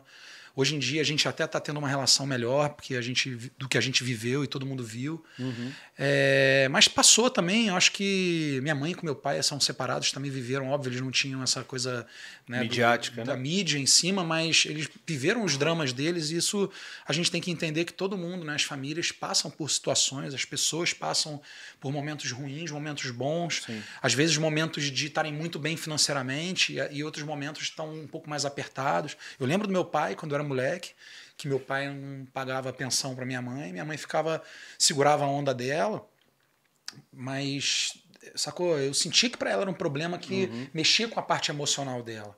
Talvez se ela tivesse essa oportunidade que a Cris teve de usar a mídia para brigar pelo direito dela e do filho, né? Talvez ela o fizesse. É, eu não, não, gosto de julgar, porque, claro. no fundo, cara, o que ela precisar de mim na vida, ela vai ter, porque ela é mãe do meu filho, sabe? É uma pessoa que conviveu, a gente conviveu junto, viveu coisas incríveis. Então, mesmo isso tendo acontecido, eu não tenho mágoa nem rancor. É, hoje, graças a Deus, está tudo resolvido. É, a gente tem um diálogo é, bom é, sobre isso. Semana passada eu fui para São Paulo ficar com ele, a gente organizou tudo na mão boa. Então, assim, é, é ruim que, que aconteça, mas, cara, é, fez parte, né? aconteceu e eu não posso apagar isso do, claro. do Google nem da cabeça das pessoas, mas, enfim, também não, não tenho nenhum, nenhum sentimento, assim, sabe, é, ruim com isso. Uhum. Aconteceu, a gente já está tá resolvido, sacou? Mas é chato, lógico que é, quando é claro. é contigo tu não gosta, ninguém quer ter a vida devassada na, na internet. Não, sem dúvida. É, você falando disso, assim, cara, eu, pô, também sou, sou filho de pais separados, né? Meu pai meu pai, inclusive, foi diferente. Meu pai criou eu e meus dois irmãos, né? Tipo, quando eles se separaram, meu pai e minha mãe. E mesmo assim ele teve que dar pensão para ela. Então era uma coisa até mais assim, por quê, né? Tipo, mas enfim, os juízes julgavam e Não, tal. E essa história que você falou do, do dado, eu conheço ele como Dolinha, né? Conheço é. o Dado desde muito novo, a gente fez teatro junto. Ah, legal eu, a gente, eu tenho um carinho muito grande por ele. Eu ele não falo, mora lá, né? Onde cara, eu já, eu já, não falo com, com, com ele há bastante tempo. Mas eu lembro, cara, que quando eu vi essa notícia dele preso, eu pensei isso. Falei, cara, mas o cara tá preso por não pagar pensão. E como é que ele vai pagar agora se ele tá preso? como é que vai resolver isso aí? É praticamente uma coisa que fazem assim, ó, cara, a gente vai prender ele e a família e os amigos que se virem aí. Porque, obviamente, né, se, eu, se ele tem amigos de verdade, que tem uma condição e família, que tem uma condição, vai todo mundo se virar para pagar logo para tirar o cara dessa enrascada, claro, né? Claro. Então é, é, é, um pouco isso, assim, é, um, é, um, é uma situação que deveria ser revista. E isso, pô, pelo amor de Deus, eu não estou aqui querendo diminuir é, é, a importância da a importância pensão, da né? pensão, né? Claro. Tem, tem, tem, muito cara aí, pô, que, é, que tá cagando para filho, e não é o meu uhum. caso. E, porra, deixa a mãe aí, porra, ferrada sem ter como criar uma criança. Tem bastante, né? Então, assim, foda. isso talvez, obviamente, é, é, por causa disso, né? Mas, uhum. mas é foda, porque como é que o cara vai, vai pagar uma pensão, teoricamente, se ele tá preso? É. Foda isso. É, não dá, né? Ainda é. mais para vocês que vivem de, de, porra, de imagem, de evento. Aí fica de, pior porra, ainda. Fica pior ainda. Você não tem como sair para fazer um evento, para ganhar pois é. um dinheiro, para pagar pois a é. pensão. É. É... Não, porque assim, cara, no nosso caso, é, no meu caso eu sou ator, né? Uhum. No caso dela, ela é jornalista. Eu acho que ainda pega pior, porque você não, não. Imagina, você vai assistir o Jornal Nacional, quem está te passando notícia é uma pessoa que está envolvida num escândalo ali à tarde no, na Globo.com, não sei o que, não é legal. Sim. O artista está num universo assim, meio do, da porra louquice, que você até meio que aceita mais. O jornalista tem que se, ser mais cauteloso com isso. É. Eu não estou querendo aqui dizer que ela tem que ser refém disso e não reclamar do, do, do, do direito dela e do direito do meu filho, até porque, cara, assim, eu nunca fui um cara de atrasar um mês de pensão. Eu atrasei no máximo 15 dias de pensão. E quando ela fez uma reclamação mais enfática, era um dia. Então, assim, foi uma coisa de realmente uma extrema impaciência da parte dela e, e enfim, que acabou dando esse fuzuê todo. Mas, cara, a gente já tá resolvido, eu acho que é isso que importa. E tá Aqui, tudo ó. bem. Pra você não ter que ficar molhando seu casaco. Não, obrigado, garoto. Irmão. Não tem problema, não. Eu que não queria deixar essa mesa cagada. Não, tudo bem. É, mas a tua relação com eles, especialmente com o seu filho, que é o que mais interessa, é, é boa. É sempre ótima, foi. sempre foi, sempre vai ser, sabe? Assim. É, a gente se fala. Ele mora em São Paulo hoje, eu moro aqui no Rio e às vezes eu tô em Lisboa. Ele já foi lá em Lisboa algumas vezes ficar comigo. Legal. Eu tenho ido a São Paulo quando eu posso também ficar com ele. É, mas a gente até os oito, nove anos de idade dele era no Rio de Janeiro todo dia. Então, e a gente se fala bastante. Agora ele está entrando numa fase assim adolescente, é. já começa a ficar um pouco mais, né, aborrecente. Uhum. Mas faz parte, quem não foi assim também. Pô, né? a gente deu trabalho, a gente vai ter trabalho, não tem jeito. É, é o que eu falo pra minha mulher. Gente, faz gente. A gente fala do meu filho, ele é um azogue, né? Tu viu? Se deixasse, ele tava ali do lado é. do Gabriel ouvindo a live, né? É Quando aí, não mexe nos botões aí, já aconteceu. Não, tirar do ar não. Mas já aconteceu dele mexer em botão, né? Pode crer. E aí, mas é criança, então. Não, cara, mas resumindo, sinceramente, cara, eu tenho um amor profundo, assim, por tudo que, né, porque é a Cris na, na minha vida. Pô, ela é uma ótima mãe pro meu filho. E, pô, ela segura várias ondas que, que eu não tô perto ali para para segurar, porque eu não moro sim, em São Paulo. Sim. Então eu sou muito grato a ela como ela mãe do meu filho, de verdade. É, lamento certas coisas terem acontecido, claro. mas pô, ela é uma boa pessoa, eu sou um cara legal também, então obviamente esses escândalos aí a gente fica vulnerável, a gente fica ali abatido com isso, mas isso passa. Que bom, que bom, que passou, né? Ou tá passando, ou passou. É, passou e tá passando, os dois. É, cara, então agora eu vou fazer uma pergunta mais tranquila, mais, mais suave. Ufa! Irmão, o que, que aconteceu lá da tua queda? Caiu? Pô, esse é o assunto mais tranquilo, caralho! Mas é o último, eu prometo. Eu, Meu irmão, quando eu falei que foda, você cara. vinha aqui. Ah, o pessoal falou, né, é, Claro, falou. Será que ele já lembrou o que aconteceu? Cara. Irmão, o que, que aconteceu, cara? Bicho, tu tá, eu- tu tá com. Desculpa, Pedro, você tá tô com boné por causa do. Não, tô com boné, eu tô sempre de boné. Ah, é? Quem me Tá. conhece me vê, sabe que eu, eu- sempre tô de bonezinho. eu não, tô com a um cicatrizinha aqui e tal. Não, que a a verdade é a seguinte, brother. Eu fui numa festa, tudo liberado, na Copa do Mundo, lá no Jockey, aquela, tava Uhum. tendo aquele evento lá. E eu cheguei no evento muito cedo com um amigo meu, eram umas sete e meia, a gente ficou bebendo gin. Eu não sou um cara de beber destilado, assim, eu só bebo cerveja e vinho. E, porra, meu irmão, comecei a beber gin, sete e meia, comecei isso aqui. Bebi pra caralho. Resumindo, foi o que aconteceu. Bebi muito. Não sou Aham. habituado a beber gin. E fui embora da festa. Saí da festa, chamei um Uber, tava com uma amiga minha, ela chamou o Uber dela. A gente foi, atravessou a rua ali pro Baixo Gávea. E ela, o Uber dela chegou e eu fiquei esperando o meu. E eu dormi esperando o Uber chegar. Dormiu? Dormi sentado na, ali onde eu fiquei Aham. e eu caí Caralho, e caí de cabeça. cara. Só que eu saí dali é, é, e fui direto pra casa. Todo arrebentado? Sim, fui- peguei um táxi e fui pra casa. Caralho. Eu vi que tinha sangue, mas eu não sabia exatamente o que, que tinha acontecido. A hora que eu cheguei em casa, o meu tio me viu e falou: Velho, o que aconteceu contigo? Eu falei: Não sei, vou lavar o rosto, tô com muito sangue. Ele, não, vou pro hospital. Você tá machucado, vou pro hospital. E a gente foi pro Miguel Couto, pro hospital. E no hospital, porra, eu tava. Eu, eu, não, eu, não, eu, não, eu não conseguia lembrar o que aconteceu exatamente. Uhum. Eu, eu, eu me lembro de acordar ali na, na, na- Praça Santos Dumont, uma senhora me ajudar, eu recolher minhas, minhas, minhas coisas, assim, eu tava, o telefone não achava, per- perdi ali na hora, Perdeu. mas eu tava esperando o Uber, tava com ele na mão, né, na hora ali. Al- Alguém me Sim. surrupi, surrupiou. Dei mole?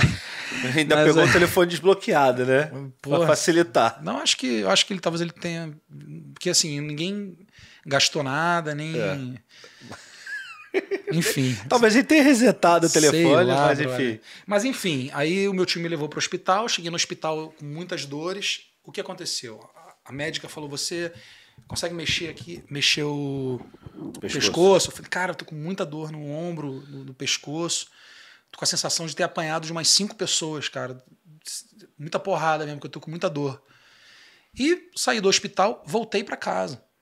E tomei um remédio e tal e dormi. Aham. Eu nunca fui numa delegacia fazer uma queixa, mentir para a polícia, dizer que fui roubado e que me, me, agrediram. Então isso foi surgindo e depois que saiu isso daí, eu dormindo 12 horas, eu dormi 12 horas de um dia para o outro, Caralho. todo fudido. É, aí você já não tem mais, você não tem mais governo da, da história que tá, que tá rolando. E aí aquilo virou o que virou. Virou, pô, história em todos os lugares, todo mundo falando. Mas, porra, cara, foi na verdade um susto ali, foi um troço que eu só fiz mal a mim mesmo, entendeu? E, enfim, meus amigos me deram um capacete de presente, depois falaram, ó, quando tu for sair pra beber agora, tu leva aí teu capacete. Caralho, genial. É, virei chacota, né, meus amigos.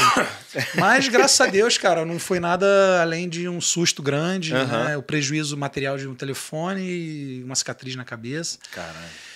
E a lição também, que eu tava naquele período ali, até posso falar assim, bebendo muito, festejando muito. Eu tinha acabado de entrar de férias de uma novela, chego no Brasil, Copa do Mundo, Aham. e realmente estava numa Clima propício. Tava né? num, num clima assim propício, mas é, foi uma, uma lição mesmo. Às vezes você tá. Você entra nesse, nesse, nesse ritmo assim de ficar saindo muito, final de ano e tal. E aquele dia eu bebi demais e me fudia. É, Resumindo, foi isso. Quem nunca? Pois é, mas acontece com um cara que trabalha na televisão, é, essa merda vira um, um Mas- carnaval. Mas essa história então vazou pela médica que te Eu não atendeu, sei, pela cara. é, te- tem, tem tantas variáveis nisso aí, entendeu? Mas você nunca declarou que Eu foi nunca, fui numa- agredido? eu nunca fui na delegacia fazer queixa e nunca Tá. dei uma entrevista dizendo que. Nunca. Aham. Eu fui na delegacia depois, na, na- que a história ganhou destaque na mídia. A delegada, obviamente, me chamou pra. Enfim, Apurar. deu merda na área dela, ela quer resolver, né, cara? Claro. Então eu fui lá, mas foram todos muito gentis. Eu falei, ó, cara, ela falou, há possibilidade de tu, ter caído? Eu falei, óbvio que há. Eu não lembro. Eu, eu não lembro, não sei. Caralho. E, enfim, mas ela foi muito gentil comigo, inclusive os policiais também, todos muito.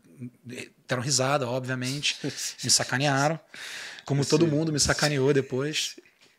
Mas faz Foda. parte. Assim, eh, o- o- o- minha mãe falou pra mim, falou assim: meu filho, você não fez mal a ninguém, tá? É. Não fica culpado assim Não, se- é. se- com, essa, com essa coisa de você ter feito uma merda, de estar na mídia, isso, isso aí faz parte. cara. Todo mundo já caiu, já se fudeu bêbado em algum Porra, lugar. Porra. Só que tu é famoso, essa merda saiu na, É. na internet, em todo lugar. Então, mas você não fez mal a ninguém, tá? É isso. Só fez mal a você mesmo. Assim. Isso aí. Ela tem razão, né? Tem toda razão. Pô, irmão, eu só não consigo parar de pensar na dor de cabeça que você teve no dia seguinte, da ressaca e da porrada. Brother, eu não sabia o que, que era, o que, que tinha acontecido. Eu, Assim, pô, até hoje você não. não tenho, É, não tenho. quase um coma alcoólico, né? Cara, foi uma porrada muito grande, né? Eu, você quer saber de uma coisa? Eu até hoje não vi o vídeo que tem eu caindo. Uhum. Ah, eu, não, tá maluco. Eu nunca quis ver o vídeo, eu nunca, eu nunca quis ver nenhuma matéria sequer, em lugar nenhum. Nunca li nada sobre isso. É, nunca vi. E vou seguir minha vida sem Porra, esse claro. conteúdo na minha mente. Já sofreu muito, Já né? foi um saco, brother. Nossa. Foi um saco de verdade. E foi, foi um saco, e a gente fica imaginando que essas coisas, né, quando sai coisas, tanto essa que a gente falou anteriormente da, da minha ex, quanto essa de eu ter me acidentado, a gente fica muito inseguro, porque a gente fica pensando assim, pô, será que vão, vai, vai se apagar tudo que eu já fiz na minha, na Será minha que eu carreira? virei isso, né? Será que eu virei um cara de, de escândalos e eu não vou, as pessoas não vão mais me chamar para trabalhar? Será que eu perco a minha credibilidade como artista fazendo isso? Doideira, né? você fica muito inseguro, né, com, com relação a isso. É. Mas acho que não, acho que é, as pessoas do meu meio que eu encontrei, é, amigos, diretores, pessoas que são que trabalham produtores de elenco, todos foram sempre muito carinhosos e eu continuo sendo cogitado para coisas. Então isso é só uma, uma insegurança, né? Porque no final das contas, cara, o que importa é, é você fazer o teu trabalho bem e tu ser um cara é, respeitoso, educado e agradável com todo mundo no teu, no teu meio. Sem dúvida. Então eu acho que é, é isso que, que, que fica e permanece. Né? Não, sem dúvida. Não, não precisa ter nenhum tipo de insegurança Mas a gente em relação fica, a velho. isso. Porque. Não, eu sei, é. As coisas da mente a gente não controla, irmão. Eu tive aqui a Elisa Sanches, que é uma atriz pornô. É, Uhum. Não conheço, não, mas- Semana passada, mas muita gente conhece, faz homenagens e tudo. Ela é uma das maiores aí do ramo, né? E ela teve aqui com o psiquiatra dela Olha, para passar um pouco do, porque tu pensa que cara ela as primeiras vezes que ela vê não tô comparando tá não, claro, irmão. mas ah, as primeiras vezes que ela vezes que ela veio aqui super de boa tranquilo parecia que ela curtia a vida que ela levava e tal não sei o quê e realmente ela curtia mas ela tinha uma parada chamada borderline que ela, ela relatou aqui que ela ficava seis anos bem, o mês que ela ficava, ela ficava um mês mal, depois de seis anos, um mês, depois de seis anos, um mês. O mês que ela ficava mal era mal lá no Mesmo. fundo, tá ligado? Tem casos, cara. Eu vi que uma, teve uma atriz norte-americana pornô que se suicidou. Tem. Eu não sei o nome dela, mas eu li, eu li alguma coisa a respeito. É, cara, eu vou te dizer, assim, eu quando teve essa história toda aí e tudo, eu, pô, eu ficava com, ficava com vergonha de sair na rua. No, assim, quando eu tava no auge daquilo, eu, eu fiquei dentro de casa, não saí de casa. Porque eu ficava com vergonha mesmo, assim, sabe? Tava me, vendo, vendo tanto que aquilo tava saindo. Pessoas julgando com olhar, talvez. É, eu lá. não queria, sabe? Uhum. mu- até depois, eu, eu fiz um vídeo no Instagram também falando sobre isso, esclarecendo, não é? Até deixei, tá, até hoje tá lá. E eventualmente eu escuto umas coisas assim, ah, você é aquele cara que mentiu pra polícia, não sei o Porra. quê. Mas, assim, eu entendo, sei como é que é. Imagina, se eu, se eu for no Twitter, que é aquela terra de ninguém desgraçada, vai, vai acontecer. Hoje eu já tô cagando e andando pra isso, mas naquela altura ali eu tava muito vulnerável, assim, pra isso. Então eu preferia não sair de casa. Você chegou a procurar um acompanhamento, assim, um psicólogo, chegou a conversar? Não exatamente, assim, eu, eu- o que eu fiz, cara, e foi muito bom pra mim, foi me reaproximar da minha espiritualidade, que eu, sempre fui um cara muito espiritualizado, mas eu tava vivendo um- uma fase assim meio meio indisciplinado, di- digamos assim, com isso. E, pô, a espiritualidade me traz disciplina para estar tá fazendo os meus exercícios, e isso, consequentemente, me deixa com a cabeça melhor, me deixa com vontade de fazer outras coisas, que não só sair para tomar umas com os amigos. Então, acho que a espiritualidade me leva a ter disciplina de exercícios físicos e de ter uma vida mais saudável. Claro. E, e isso, isso que é que me ajudou de verdade assim a, a vencer essa vergonha de sair de casa foi, foi por aí, assim. Pô, legal, cara. Legal. O, o, a Alcineia tá falando assim, ele tá sem graça, muda de assunto. A gente tá falando de espiritualidade. Não, tá tudo Pô, bem, cara. Faz parte. Acho que todo mundo gosta de falar de espiritualidade, por claro, exemplo. Claro, não, mas entendeu? assim, eu não tenho um problema em falar sobre essas coisas, não, assim, porque Cara, eu não. Foi é bom pra esclarecer também. Eu não fiz né? mal a ninguém, entendeu? Não, eu não cometi crime nenhum. Não mentiu pra ninguém. Se eu tivesse ido lá na polícia, falando, ó, oh, fui assaltado pra ganhar uma mídia, isso não aconteceu. Então. Não, é. Foda-se. Suave, foda-se. Mas a mesma pessoa que. foda-se. A mão que afaga é a mesma que a pedreja, meu amigo. Como dizem os portugueses, foda-se, pá. Foda-se. Foda-se é vírgula. Assim, cara. porra. Foda-se. É o Jorge Jesus. Foda-se. Foda-se. Ela faz assim, ó. Eu vi um vídeo do Cristiano Ronaldo, ele falando um foda-se maravilhoso. O, Maravilhoso. O, o, Diego conta, o Diego Ribas conta uma história de que ele estava jogando Real Madrid e Atlético, né? Atlético de Madrid. Ele jogou no Atlético. Ele jogou no Atlético. Aí o Cristiano Ronaldo não estava fazendo nada no jogo. Aí bateu, teve uma falta longe, ele cavou a falta puta, meteu um gol de longe, de falta, daqueles gols dele. Uhum. Aí o Cristiano passou por ele e falou: foda-se, Diguinho. A bola vai aos S. É. Aos S? Aos S. A bola vai assim. É muito engraçado foda-se, cara, lá em Portugal. Foda-se deles é muito, muito bom. bom. Cara, é, qual foi a a gente vai inaugurar um quadro hoje com você aqui, tá? Aquele, aquele que eu te falei. Vamos inaugurar hoje aqui. Mas já. já Cobaia, né? Cobaia e vai ser de surpresa. Então já vai pensando numa história muito louca que você tenha ou não vivido. Tá? um amigo. É, é. Não, porque a gente. Você vai. Seguinte, a gente teve o Naldo Bene aqui. O Naldo Bene, a primeira história, o primeiro podcast que ele começou a falar as histórias dele foi aqui. E até então era tudo real. Aí hoje em dia ele tá surfando, inventa uma aqui e tal, mas ainda tem muita história real que ele conta, a maioria ainda é verdade. Legal que ele mata a cobra e mostra o pau, é, né? É, ele, ele tem prova de tudo. É, eu né? vi uma que ele falou há pouco tempo, cara, que eu achei maravilhoso. Ele mostrando. Bom, galera, aqui tá parte da minha coleção aqui do Air Jordan, meus tênis, tem muito mais. E, pô, a marca, pô, muito feliz de ter feito parte do, do, do, do desenvolvimento dessa marca. Eu falei, pô, não é possível. ele foi a propaganda do Air, né? Foi a propaganda Ai, cara, do... muito bom, cara. Mas ele é, ele é, ele é foda. E aí ele contou as histórias e foi, obviamente, zoado, julgado como uhum. mentiroso e tal, não sei o quê. Quando as histórias são verdadeiras. E aí depois ele voltou aqui também e tal, não sei o que. Foi no dia 1 de abril, cara. Foi maravilhoso. Pô, maravilhoso. Dia, na madrugada a gente tentou pro 1 de abril. Quando deu o 1 de abril, a gente cantou parabéns para ele e tal. E hoje ele tá levando de boa. Hoje ele tem dois aniversários, então, né? e o pior é que ele faz aniversário em abril mesmo. Puta mas não minha. primeiro. Se fosse, puta, é genial. seria genial. Mas, uh... Mas é engraçado que depois dessas histórias todas, assim, dessa história do Naldo, ele, pô, o Naldo tá. Voltou. Bombando, voltou né? a crista da onda. Não, e eu, e eu falei muito com ele. Não, obviamente, não sou responsável por porra nenhuma. Mas eu falava muito para ele isso. Eu falava, cara, você, você se incomoda muito com as pessoas falando que é mentira, é mentira. Você tem você tem prova de tudo que você fala. Mas, mas é que é o problema? O fato dele ficar irritado com aquilo faz pegar. As pessoas ficam querendo mais é, encher o saco dele. É. E, e, ele é um cara carismático, aquilo ficou uma coisa engraçada. Isso. Eu via, eu vi algumas cenas dessas, assim, ele puto, dizendo que era verdade, e eu morria de rir. Não de, porra, o cara é um causeiro. É, não, não, eu tava achando aquilo tão engraçado, é, cara. E aí ele deu a volta em cima Isso, disso, né, cara? É. Aí eu falei para ele também, muita gente deve ter falado. É. Surfa essa onda. Claro, mano. aproveita, porra, bicho. Tu tá aí, agora tá em alta de novo. Claro. Porra, Luciano Huck, vai no no Marcos Mion, vai, você vai, vai tá todos bombando, os podcasts, tá bombando. tá bombando e tá, tá certo. Então, é, inspirado nele, a gente vai fazer esse quadro contigo. Então você vai pensando aí que a gente, no final, vai fazer essa pergunta. Uma história bizarra? Bizarra sua, que você pode ou não ser verdade. Você vai contar a história com o máximo de detalhes possível. Uhum. E no final, Eu vou dar um veredito, vou dizer se é verdade ou não, e Tá aí bom. você revela. Tá bom. Ele também, o Gabriel também vai dizer se é verdade ou mentira. Tá Então, bem.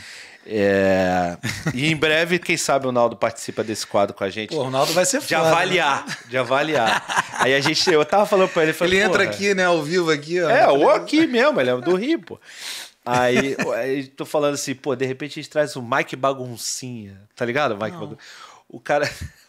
Mike aquele Baguncinha. caoseiro mineiro Do da Hermes SWAT. Renato? Não, da SWAT, pô. Não, porque Não eu, sei. eu, eu lá em Los Angeles, Estados Unidos, nunca vi esse cara. Não, eu vi no Hermes e Renato, no podcast. Então, mas, é, mas eles estão imitando o Ah. real. Existe um cara que conta essas histórias mesmo. Eu achava que era um personagem do Hermes e Renato. Não, não, o cara é Mike Baguncinha. Não sabia, não. Eu vi no podcast que eles têm o Não, é Hermes e genial. Depois eu vou te mostrar. É Boa, genial, cara. Aí um dia eu trago ele aqui. Aí o Naldo, o Naldo vai ser o juiz. Porra, sensacional, né, cara? Se tudo der Isso é certo. entretenimento de verdade, meu amigo. Porra, entretenimento na telinha. Na telinha do YouTube, É né? isso aí. Cara, é, você falou do- do- da questão dos vinhos e tal. Uma parada que tá muito em voga. Hoje Você viu o Galvão Bueno com o Bueno Wine, É, né? o Galvão Enfim. Bueno, pô, eu já experimentei os vinhos do, do Galvão, são ótimos vinhos. Cara, o vinho, ele, assim, o consumo de vinho no Brasil cresce muito, né? Em 2010 teve uma pesquisa que dizia que 20 milhões de brasileiros tomavam pelo menos uma garrafa de vinho por semana. Em 2020, esse número foi para 44 milhões de brasileiros. Eu fiquei muito assustado. Falei, 44 milhões de brasileiros tomam pelo menos uma garrafa de vinho por semana. Tudo bem, na pandemia É. eu bebi uma por dia, né? Em casa, não tinha o que fazer, pô, é vinho. É, bebê. Mas, assim, isso significa que as pessoas estão. A internet também ajuda muito essa busca né, de conhecimento e tal. E o, e o vinho tem uma questão interessante, cultural. é, tem sempre uma história bacana por trás ali de, de uma vinícola, de um, de um vinho.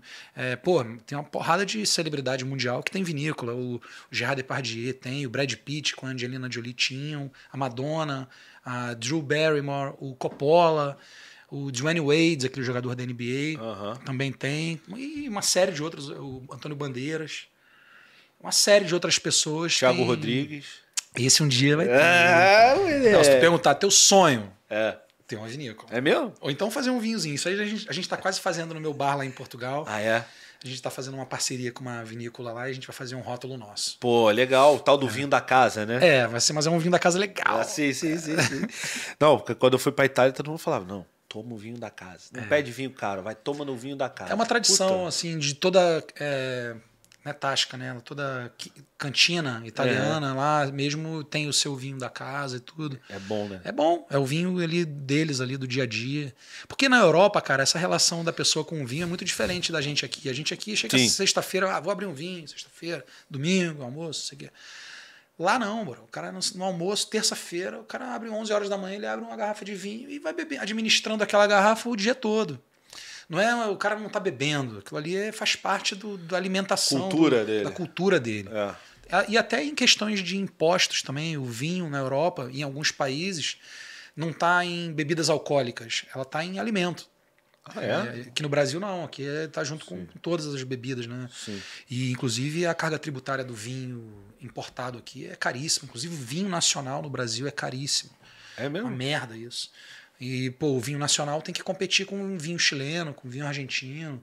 É difícil, porque o certo seria o vinho nacional ter um, Subsídio, né? é claro, ter, ter, ter- nós brasileiros temos a- é, ter mais acesso ao, ao produto feito aqui mais Claro, barato. claro. E a gente não tem. Então acaba que o, o brasileiro vai no mercado quer comprar um vinho chileno, um argentino, um português e não compra o brasileiro. Sim, sim. E isso é ruim. É, a galera dá sempre mais valor ao que é importado, Também, né? também É. tem isso. Ainda que os espumantes brasileiros, É. os vinhos espumantes são maravilhosos, assim, inclusive fora do Brasil, em provas São às cegas, né? às cegas, pô, e ganham torneios, ganham concursos. São vinhos realmente muito bons, É. mesmo, qualidade maravilhosa. Você, você curte aqueles vinhos mais caros e tal? Romané Contínuo? Adoraria ter, ter grana mesmo para poder beber mais esses vinhos, mas já tive experiência de estar em situações, né, em feiras e, e com amigos também, que já bebi vinhos, pô, incríveis, É? assim. é. Qual, se, se você quiser falar, claro, qual foi o maior valor que você, com seus amigos ou sem, pagou numa garrafa? assim? Uma época de vacas gordas. Aquele assim, Tipo eu. tipo eu, assim. Não, a gente tava em Amsterdã, tava eu e mais três amigos. E a gente tava naquele hippie ali, aquele corre de coffee shop, né? Amsterdã. E aí. Só que, pô, eu sempre, a gente, nossa turma, assim, a gente sempre foi muito ligado em gastronomia, restaurante legal Claro. e tal, vinho. E a gente foi num restaurante, fez uma reserva num restaurante lá, que era duas estrelas Michelin. Porra. Só que a gente tava assim, calça jeans, mochila, camisa, aquele esquema. Aí a gente chegou, porra, era uma social do cacete, assim. O cara olhou pra gente assim, porra, quatro brasileiros, moleque, botou a gente numa mesinha meio fora, meio assim, de canto, assim. E a gente não gostou, sacou? A gente ficou meio puto com, a- com esse jeito, assim. Apesar de entender, a gente não gostou. Aham. Aí meu amigo falou assim, cara, vamos pedir um vinho foda aqui, vamos ganhar respeito no vinho. Falei, Boa calma aí, tarde. cara, vamos, vamos olhar aqui, vamos olhar. Aí eu falei, cara, então peraí, vamos olhar. Aí, pum, pedimos um vinhaço, foda, vinho de, sei lá, 300 euros. Aham. Aí o cara já olhou assim e já melhorou, né? Aí, não, é o seguinte, já pode abrir um outro ali, um vinho de 600 euros. Aí o cara já começou a mudar. Aí a gente pediu quatro pratos principais, tomamos cinco garrafas de vinho, só vinho foda. O último custava 1.200 euros. Puta que pariu, o cara vai comer, vai ficando rico, né? É, Essa porra é corajoso. Era um Cheval Blanc, um vinho Caralho. Bordeaux, top, não sei o quê. Só que aí, meu, mudou tudo. Mudou tudo. No final, da, no final, tava na nossa mesa o dono do restaurante, o chefe. Cira. Tinha um cara na mesa do lado que era um juiz de, de gastronomia e hotéis, não sei o que, também tava na mesa com a gente. E a gente mentindo pra cacete. Né? Os caras, você conhece esse vinho, não sei o que. Eu falei, é, bro, o pai dele, eu falando assim do meu amigo. Esse vinho aqui, qual vinho? Ah, ele tem mais de 3 mil garrafas desse vinho aqui, cara. O cara, que isso? 3 mil garrafas desse vinho. Então a gente botou uma banca. Ficamos pica na parada. E no final, o dono do restaurante abrindo champanhe cristal pra gente. A gente fumando baseado na mesa do restaurante. Super. Não, eu. Pô, galera, aqui eu vou falar, tô no podcast. Porra. Essa hora, sexta-feira. Porra. Eu tava fazendo. Em Amsterdã pode. Ah, ué. Eu tava fazendo um pra fumar do lado de fora do, res- do restaurante. O, o Metre falou assim: não, não, não, não, não precisa se levantar, pode fumar aqui. Eu falei, aqui? Ele é, pode fumar aqui. Depois dos vinhos que a gente Porra, pediu. meu irmão. Foda-se. Ele enrolava pra você. Não, e outra coisa, eu voltei nesse restaurante dois anos depois com a minha ex e com meu filho. E eu tô sentado, o cara chegou com licença assim: o senhor é brasileiro? Eu falei, sim, eu sou brasileiro. O senhor esteve aqui há dois anos atrás com mais três amigos? Eu falei, sim, você tá lembrando? Ele, sim, nós temos inclusive uma foto, não sei o quê. O cara foi lá, trouxe uma foto, a gente doidão lá. Muito engraçado, cara. Caralho, isso é Muito foda. engraçado. Isso é foda, cara. Isso uma vez. Mas a gente ganhou respeito É. no vinho. Mas pagou 10%. Não, bro, foi tudo. Ah, Pagamos também- tudo. Naquela época, meu irmão. Ah, não, porque uma vez também eu entrei de chinelo numa loja chique ali, tinha acabado de lançar o, o shopping Leblon. Então tinha as melhores lojas lá, né? Eu entrei de bermuda, chinelo, eu e minha mulher. Aí ninguém deu, ninguém veio falar com a gente. Tava todo mundo sendo atendido, aí ninguém vinha. Falei, Jennifer, vamos levar o bagulho mais caro que tem aí. Não era tão caro, mas enfim. Só pede pra ver, pelo menos, né? É, não, mas eu peguei. Eu, eu mesmo peguei, vesti, era um casaco, a gente pegou, vestiu. Aí na hora levamos lá, pagamos no débito. A mulher, alguém lhe, alguém lhe atendeu, já chegou uma pessoa perto assim, ah, não sei o que. Falei, não, ninguém me atendeu. Ah, não? Falei, não, inclusive, provavelmente porque eu tô de bermuda e chinelo, né? Mas tá tranquilo, pode passar no débito. É, acontece, cara. Tem uma pegadinha do maluco fez aí que ele vai comprar uma Ferrari de. com roupa meio de mendigo, assim. Cara milionário. Aí chega na loja da Ferrari, não, vou levar. Cara, por favor, querendo tirar ele da loja. E o cara levou. Levou. Levou. Ó, o, o Marinho tem uma história parecida, vi né? ele falando que ele foi numa loja de tipo de uma Casas Bahia da vida, né? Uma coisa não, assim. acho que foi um bagulho de carro. Foi? Não sei, eu acho que. Você É, acha que foi lembro, comprar acho- televisão, não é um negócio desse? Aí comprou a loja toda, É, né? falou, ah, lá, eu um bagulho tudo. desse. É. Cara, essas porras às vezes são até táticas se bobear, né? Vamos fazer aquele otário ali que tá vestido de Com a gente funcionou, sacanagem. cara. Com a gente, não, mas a, a verdade é que quando a gente. Comigo também nesse dia. Pô, mas quando a gente entrou no restaurante, tava todo mundo muito bem arrumado, assim. é, pô, o cara mais desarrumado tava com a camisa social pra dentro. A gente Aham. tava de tênis, jeans e, porra, com o olho vermelho ainda por cima. Circuito Amsterdã, né? Cara, esse, eu- em Amsterdã a gente foi num restaurante também, três estrelas Michelin também, duas, sei lá quantas estrelas tinha. Mas era aqueles restaurantes de comidinha que vem, Ah, não sei sim. que, vem, não sei que. Ruim, Eu não gosto dessas comidas. ruim, ruim.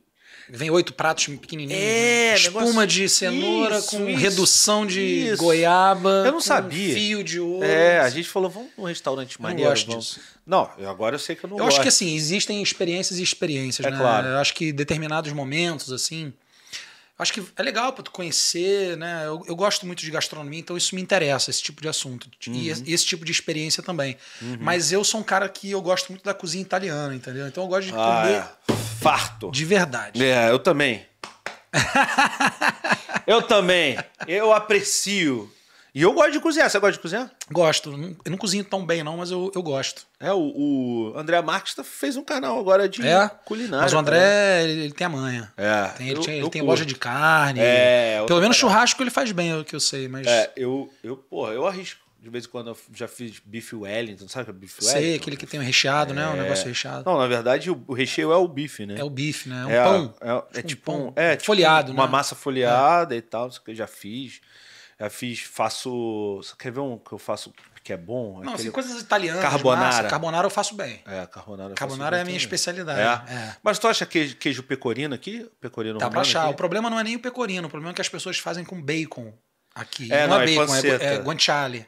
É tipo panceta, É, tipo não? uma pancetta também, mas o certo é o guanciale. Ah, E o eu nunca- guanciale tu acha só nessas, é, sei lá, empórios, essas, É. paradas cheias de sacanagem, assim. O guanciale eu, eu fiz já com, com, com panceta. É. Aliás, eu de vez em quando faço com panceta. Não, mas dá pra fazer também, mas, Mas o, eu o fico correto é o guanciale. E o queijo pecorino. Queijo pecorino. Ah. Allora, veramente italiano. Cara, então conta a nossa história. Você deu tempo de pensar? Cara, assim. Você não deu tempo de pensar? Não, te- eu eu tenho tenho um negócio pra te dar antes. Beleza, pode, me- pode me dar. Tem uma história muito surreal que aconteceu, né? Não sei se tu vai acreditar. Ó, isso aqui é o, tipo um troféu de participação do BarbaCast. Porra, meu irmão. O estúdio Funko tá mandando pra gente. Vou colocar do lado do meu ator revelação do ano. Eu Ô, moleque! Se botar, bate. Ó, Renata, você precisa melhorar essa sacolinha, porque a gente tem que tirar assim, ó. Tá apertadinho. Tá. Bom, toma. Pô, mas irado. tirar. É esse bonequinho aqui, só que num tamanho Aí. legal. Porra, aí, Porra aí, galera. aí, maneiro, né? Pessoal, Estúdio Funko. Maneiríssimo. Sigam lá, estúdio com S mudo. Porra, maneiríssimo. Muito obrigado. Eles fazem os Funkos personalizados, sabe? E- Show. Esse aí é porque a participação não dá pra fazer de todos personalizados. Show de bola. Mas não vai ser a única vez que você vem, então na próxima vez eu vou pedir pra ela fazer Show. um, um Deixa seu. eu vir aí um dia pra gente falar só de Flamengo É. mesmo aqui. tu achou que era de Flamengo que a gente ia falar hoje, né? Achou errado! Me fudi, meu irmão. Ó, ela fez isso aqui do Mengão, olha como é foda. Maneiro. O passe do Diego pro gol do Gabigol. Aquele chutão lá na- da Passe, porra. Passe. Camisa 10, porra. Jesus Cristo. Agora conta aí a tua história surreal. Não, cara, a história foi o seguinte: eu tava em Nova York. Só um minuto. Vocês que estão no chat, vão falando. É verdade ou mentira e tal, não sei o quê. Depois a gente vai, vai ver aqui. Fala aí. Bom, a história é a seguinte: eu tava em Nova York com a minha ex e a gente tava pegando o voo pra voltar pro Brasil. A gente tava de classe executiva, mas a, a gente passava pela primeira classe pra sentar na classe executiva. E ela tava grávida, com, sei lá, devia estar com uns sete meses, com a barriga bem Barrigão. grande. Barrigão. E a gente tá vindo assim, passando na primeira classe, tinha um sujeito botando a mala em cima aqui assim, e ele botou, fechou e veio com tudo pra trás, e ele Caralho. esbarrou nela, na Cris, e a Cris caiu, Que sentado isso, cara? No corredor. Porra, meu irmão, eu, você imagina, né, brother? Eu falei, meu irmão, você é louco, brother. Mulher grávida aqui, você não tá vendo. O caralho, meu irmão, foi, caralho, isso aqui em inglês ali, ficou um fuck you, go fuck yourself, caralho, não sei o que, não sei o que. Primeira come on, come on. Meu irmão, quase porrada? chegamos a vias de fato ali. Que isso, cara? Porra, o cara empurra tua mulher, tua mulher grávida, cai no chão. Sim. E o cara nem pede desculpa, nem tenta ajudar, fica super arrogante. Eu mandei ele to- tomar no meio do cu dele. Ele me mandou também tomar no meio do meu cu e ficou aquela situação ali de, de discussão. Afastaram, né? Me tiraram. Mas eu fiquei olhando pra ele, eu fiquei com a impressão que eu conhecia aquele cara, Putz. sacou? Eu falei, cara, eu conheço esse cara, brother. Beleza, eu sentei na poltrona, né? Falei, você não reconheceu não, Cris, esse cara? Ela, não. Falei, cara, não sei, deve estar viajando, não sei. Aí beleza, o avião calmou, tudo, o avião decolou. Hum. Quando chega ali no cru, né, cru- é, altura cruzeiro, o avião mais tranquilo, o piloto me, me manda assim: é uma honra. Nós temos aqui no avião o grande campeão de Wimbledon US Open, John McEnroe. Eu, puta que pariu, cara. Era o John McEnroe, bro. E ele era mó bad boy, Meu né? irmão, era ele, era ele. E meu pai, cara, sempre falou pra mim, eu vi o John McEnroe ser campeão do US Open lá ao vivo, não sei o que, não sei o que. Sempre falou isso pra mim. Eu tinha muito isso, claro, do John McEnroe, que ele era merdeiro. É, Arrumava é, confusão com é. todo mundo. E aí eu, caralho, era o John McEnroe, brother, não é possível. Aí meu irmão, fiquei, né, caralho, fiquei muito bolado com aquilo. Aí chega no Brasil, É. ela grávida, né? e- sai primeiro a primeira classe, sai a galera da executiva, É. na filinha ali. Só que ela grávida, prioridade. Sim. E aí a gente passou assim, eu passei com ela olhando assim pra ele assim, eu, meu irmão, o cara mandou assim pra mim, pra ela. eu aqui, ah, Pra ele, ele, é falou lógico, isso. ele, não, ele mandou pra mim dois Que dedos. isso, cara? e Ele eu ainda- devolvi, ainda balançou. Ainda balancei pra ele, meu irmão. Eu, eu rindo fazendo isso, né? Que eu já tava achando aquilo engraçado pra caralho. Só que, porra, meu irmão, eu arrumar uma confusão com o John McEnroe em solo americano, eu tava fudido. É, agora aqui no Brasil, Aqui no Brasil, foda-se. foda-se, o cara- Ele tava vindo jogar um torneio de exibição com Guga, com Meligene, umas coisas assim. Caralho, cara. Mó doideira, brother. Eu falei isso pro meu pai, meu pai morreu de rir, cara. Morreu de rir mesmo, brother. Você pode anotar no currículo, né? Arrumei uma confusão com o John McEnroe. É, tem uma outra história que eu não sei se eu conto, cara. que é muito Conta, bizarro. Será que eu porra, conto? conta. Essa, essa galera vai achar que é caô. É, conta. É, As são as melhores. Cara, a gente foi jogar uma pelada de artista no Maracanã, né? Um dia sem torcida. Era um, um jogo que abriram o Maracanã pra gente jogar lá entre, entre nós. E eu saí faltando 15 minutos pra terminar o segundo tempo. Você joga bem, né? Ah, a gente tinha lá o time de artista, a gente inclusive foi campeão do mundo É, duas vezes né? aham. na Rússia, foi, foi do caralho. E a gente lá jogando, eu saí assim com 30 do segundo tempo, eu saí, desci pro vestiário, tomei meu banho e voltei pro gramado. Não tinha ninguém, não tinha torcida, a gente tava ali curtindo. E acabou o jogo, todo mundo desceu. Foi pro vestiário e eu fiquei ali. Eu tinha uma baganinha comigo, e aí todo mundo desceu, sacou? Pra tomar banho, não sei o quê. E aí eu olhei assim, eu falei, caralho, não tem ninguém aqui. Aí eu fui lá pro meio de campo, brother, onde começa, onde põe a bola pra começar o kickoff, o, o pontapé inicial. Aham. Eu me sentei na bolinha onde começa o, O jogo. o jogo no Maracanã. Ninguém no Maracanã. Eu acendi o meu backzinho ali no, naquela parada ali. E eu fiz um videozinho assim na hora, mandei pro meu pai. Aí meu pai, tá maluco? Apaga essa porra, cara! Vão te fuder aí, cara! Não sei o que. Eu falei, não, é só uma pontinha, não sei o que. Caralho, me sentindo uma criança ali, sabe? Olhava ao redor assim, caralho, quanta coisa já aconteceu aqui. Porra, será que alguém já fez isso? Será que alguém já sentou aqui na bolinha onde começa o jogo e fumou um baseado? Acho que ninguém nunca fez isso. É inédito. A partir de agora vai ser. Sudeste informa. Sudeste em fora. Aliás, tem um jogador aí que é muito acusado disso. De repente ele Olha, faz. Não mas no não, doping, não, né? não. Não tem doping, o jogador? Não sei se a maconha pega mais, não. Ah, acho que todo esporte pega, não pega não? Ah, mas pode ser que ele vá sozinho. É. Dependendo do dia. Bom, Você vem comigo. Detalhes. Galera, e aí, o que, que vocês acham? É verdade ou não é? Comentem aí. As duas. Pode comentar. Enquanto isso, eu, eu vou contar uma. Ih, Aqui, eu vou contar uma. E eu vou votar, dizer se é verdade Você vai não. votar. Tá bom. Tava agora recentemente em Los Angeles com a minha mulher. Porra, aí a gente não, a gente não vai atrás de artistas, essas porra, né? Que tem um. Lá em Los Angeles tem até um. um, um como é? Um circuito pra ver a casa dos artistas, né? Então você vê a ex-casa do Michael Jackson, a casa do Brad Pitt. Sim, um amigo meu foi lá, tocou a campainha da casa do Clint Eastwood e saiu correndo. Pô, tá maluco? O Clint? Ainda vem com a espingarda, É, né? tá maluco, cara. E lá a galera tem mesmo, porra. Tá maluco logo o Clint, É, cara. o cara fica aqui é a casa do Clint Eastwood, ele foi lá, pum, pum. Porra, imagina a quantidade de gente que faz essa porra. Coitado do cara, bicho. Aí, de todos, né? Tem a casa do Johnny Depp, tem um, tem um roteiro, tem um mapa. Você compra 20 dólares. Os caras vendem um mapa com o endereço e o nome do, do, do dono da casa, cara. Sacanagem. LeBron James, o caralho, enfim. Aí, então, mas a gente não fez esse circuito, não. Porque, pô, ficar vendo portão. Você vê portão, né? Aham. Talvez com sorte você veja alguém, mas toma muita sorte. Ou azar, enfim. Aí, no último dia, nosso último dia em Los Angeles, eu cheguei. Aliás, minha mulher falou assim: vamos num museu que tem aqui, que tem a obra do Picasso, do, do Van Gogh. O pai dela era pintor, né? Artista plástico. É, então ela gosta. Eu também gosto disso. É maneiro, né? Uhum. Aí, beleza. Vamos, como é, onde é o bagulho? É o Observatório de Griffith. Aí eu falei assim, pô, mas é um observatório, essa porra, tipo planetário. Não tem, não vai ter. Não, mas eu li que tem. Então, tá bom, então vamos lá. Aí chegamos, cara. Chegamos. Aí, porra, né, batendo foto. É, é altão, assim como todo observatório. Quer dizer, menos aqui. Peraí. Todo, todo os, o, o planetário, por exemplo, Aham. né? Enfim, não é alto, mas os outros são, né? Greenwich, eu acho que é alto, enfim. E, e lá também é alto. Então você tem uma vista legal de Los Angeles, né? Apesar que isso é uma cidade super poluída, então você não vê porra nenhuma, mas enfim, é legal.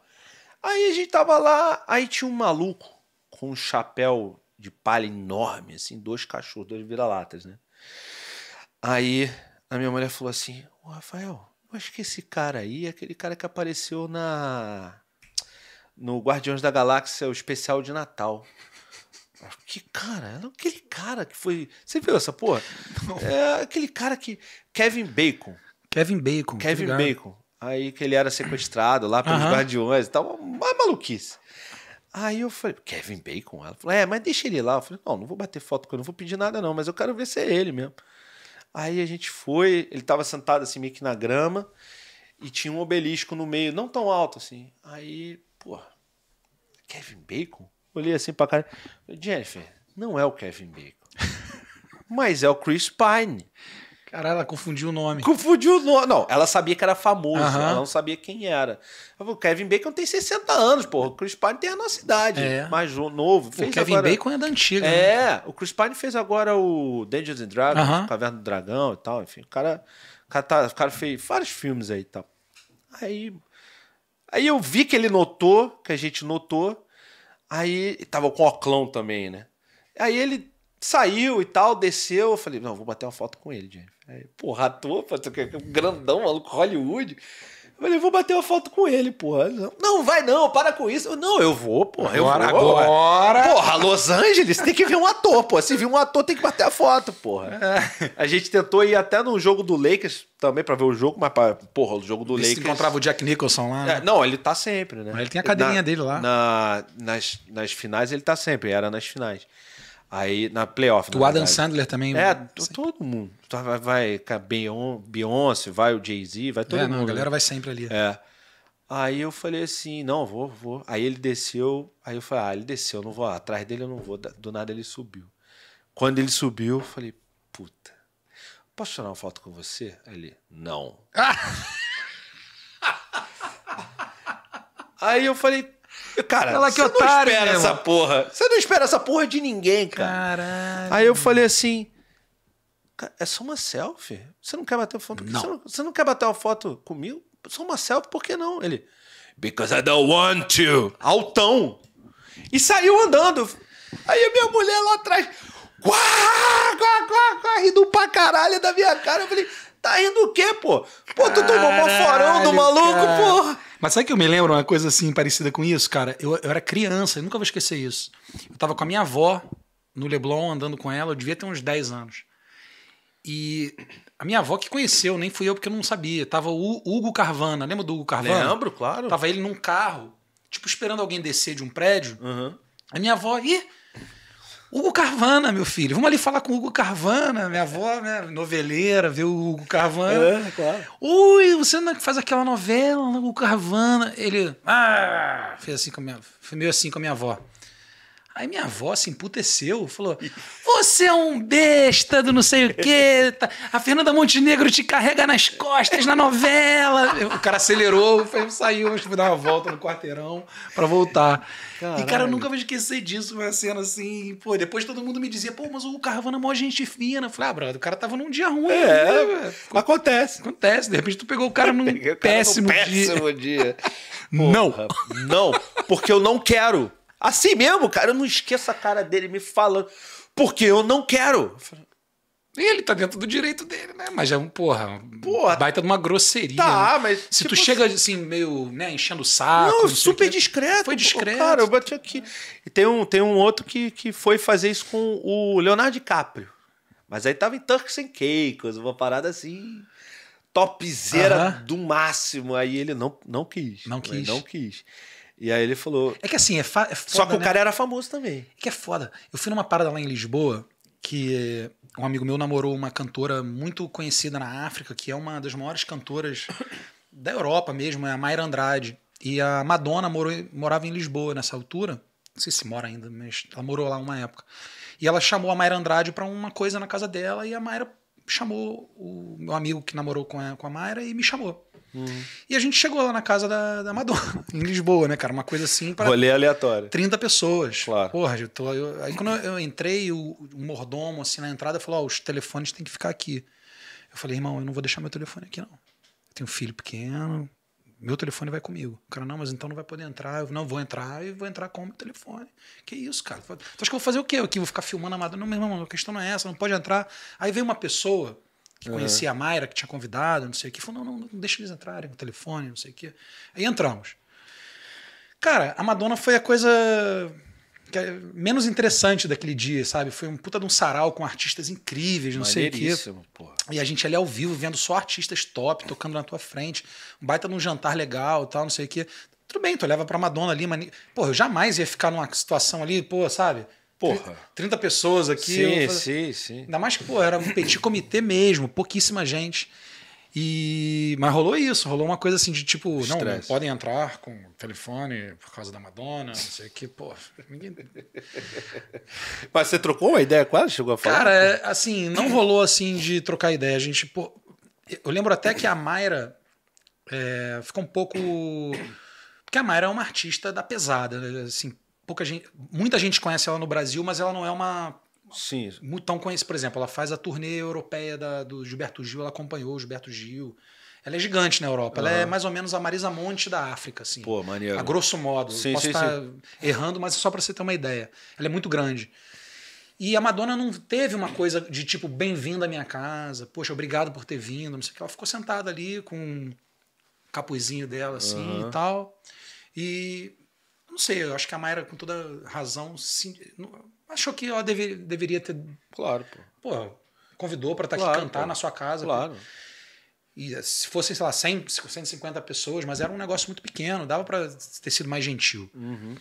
E uma hora a Mayra explicou uma música, essa música eu fiz quando eu terminei um relacionamento, tal, não sei o que. Aí a Madonna interrompeu e falou assim: é, você poderia falar mais sobre esse término desse relacionamento? Foqueira. Aí todo mundo olhando assim, né? Que isso, que situação. Aí a Mayra falou assim: Olha, se a gente for apresentada e tiver mínimo de intimidade, eu te conto. Vamos lá, sete, oito. E o músico começou e ela cantou e todo mundo. Ai! uh!" Nossa. As 29, pessoas- 28 pessoas foram ao delírio. Não, ficou todo mundo assim, meio que não sabia se comemorava, se fosse Deu uma esculachada na Madonna na casa dela. E mostrou a power artista que ela é, de verdade, a Mayra. E a Mayra é mesmo. Vocês aí, jovens que não conhecem, busquem aí no Spotify de vocês, Mayra Andrade com Y. Uma cantora fabulosa. Ela canta em português? Cara, a Mayra é assim, eu encontro ela em Lisboa, ela fala comigo como se fosse uma baiana. Que eu sou do Brasil. ela- Aí, de repente, chega um português. Ela começa a falar em português Portugal com a pessoa e eu fico ali do lado olhando, falo, caralho. Aí chega um francês, a minha mina fala todos os idiomas. Caraca. É impressionante. Caraca, irado, hein? É impressionante. Essa galera tem uma cultura impressionante. foda. Bom, o pessoal tá falando que é verdade. Então fala aí, as tuas. As duas são verdade. A tua é E a caô, da não. Madonna que é caô, né? A da Madonna não existe, não. Aí pior que eu contei outra, né? Não, as três são, são verdade, brother. A minha é verdade absoluta. Tem até vídeo. Tem vídeo? Tem. Procurem lá Tá no meu Instagram. Vou só o mostrar Felipe. Camargo, o ator Felipe Camargo, também tem uma do, dele com, com Alpatino. Ele, É? ele tava no Central Park fazendo foto, né? Aquela coisa de fotógrafo. Sim. Aí ele fez uma foto de um velhinho num banco lendo jornal. Puta. Aí ele foi aumentando assim pra ver, né, a foto, É. né, a qualidade. Ele falou, ih, acho que eu conheço esse cara, brother. Ih, é o Patino. Ele vindo aqui na máquina, né? Aí ele foi lá, né? Ele falou, pô, meu irmão, fiz uma foto sua aqui, pô, queria só te cumprimentar. Aí foi- o cara foi gentil com ele. Ah, é? Aí, ó. Eu fiz vídeo e tudo, cara. Deu até no, nos sites de fofoca essa porra. Olha lá ele. É, minha, mulher, minha mulher me sacaneando. Vocês veem lá depois no meu Instagram. Olha ele ali, é, pô. O cachorro deu uma cagada. Chapelão mesmo pra não Chapelão. É, pô. E um, e um óculos, parecia até óculos feminino, de tão grande. E aí, e aí, ó. Aí tem uma hora que ele, que ele olha assim pro lado, aí eu pausei, e aí dá pra ver bem a cara dele. Vocês não estão vendo aí, mas vê lá no meu Instagram depois, tá? Ou tá no BarbaCast também, no Instagram do BarbaCast. Tá Olha lá, olha lá. Tá, tá limpando o cocô. Olha lá, tá vendo? Aí, Vacilão, né, é, Pô, não quis. vacilo, irmão. Vacilo. Pô, é só uma foto. E pior que eu tenho uma história parecida com essa, com a... Nunca neguei uma foto pra ninguém na minha vida. Nem num momento ruim. Nem no momento ruim. Nem eu. Não, eu não tiro tantas fotos. Não, eu já, pô, em momentos difíceis. Pô, você sabe que uma. mas Eu não tiro. Claro, eu não sou tão conhecido. Mas uma vez o cara me pediu. Se lembra? O Flamengo foi campeão 2019 de tudo, foi pro trio. Né? Aí eu fui lá pro trio e falei: ah, quem sabe eu subo, né? Eu conheço algumas pessoas, quem sabe eu subo? Maluquice minha. Não consegui, obviamente. Aí Eu fiquei ali na dispersão. Porra, rapidamente. No centro, no rápido. centro? No centro, no centro. Eu fiquei na dispersão, por, por acaso, eu não sabia que era dispersão ali. Eu falei, eu vou ficar aqui porque daqui eu saio e aí pego um Uber, fica mais fácil, né? Aí ela, era lá no Balança, sabe aquele prédio, Balança mais no lá do centro? Depois da prefeitura ali. Porra, o ônibus entrou, ninguém avisou que era o.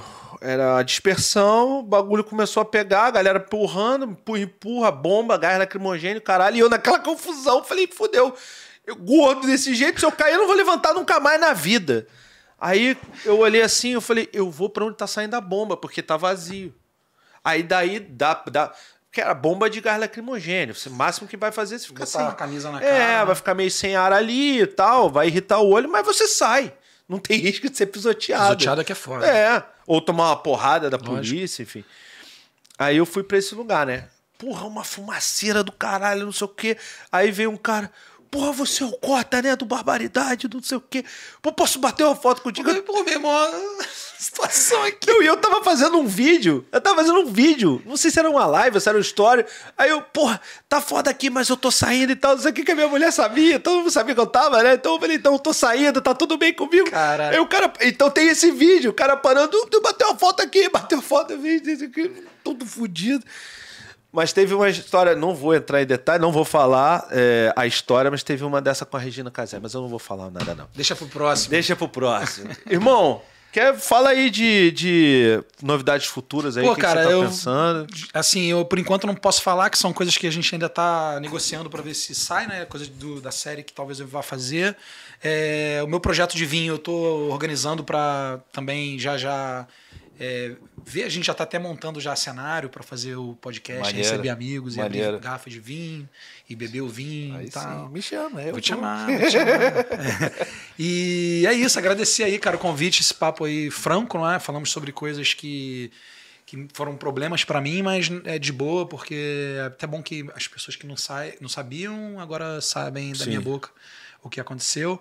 E é isso. Obrigado aí, pô, e Pô, mandar um abraço pra todo mundo. Eu que te agradeço Desejar sucesso pela. aí no teu trabalho também. Pô, irmão, eu que te agradeço a disponibilidade, te peço desculpas por ter tocado nesse assunto, Não, mas eu, boa. foi o que eu te falei, eu acho que quando a gente tem a possibilidade né, de falar sem, sem limite de tempo, sem edição, sem nada disso, acho que é, é o melhor momento de esclarecer coisas que, mesmo você falando, geram insegurança, geram. Uhum. Porra, como é que. As pessoas às vezes julgam muito sem entender o outro lado, né? Ah, as pessoas julgam Então, todo mundo, né, cara? é, então. Eu, sinceramente, cara, pô, sou um cara muito correto na minha vida. É. Óbvio, ninguém é perfeito, todo mundo dá suas vaciladas, eu dei as minhas.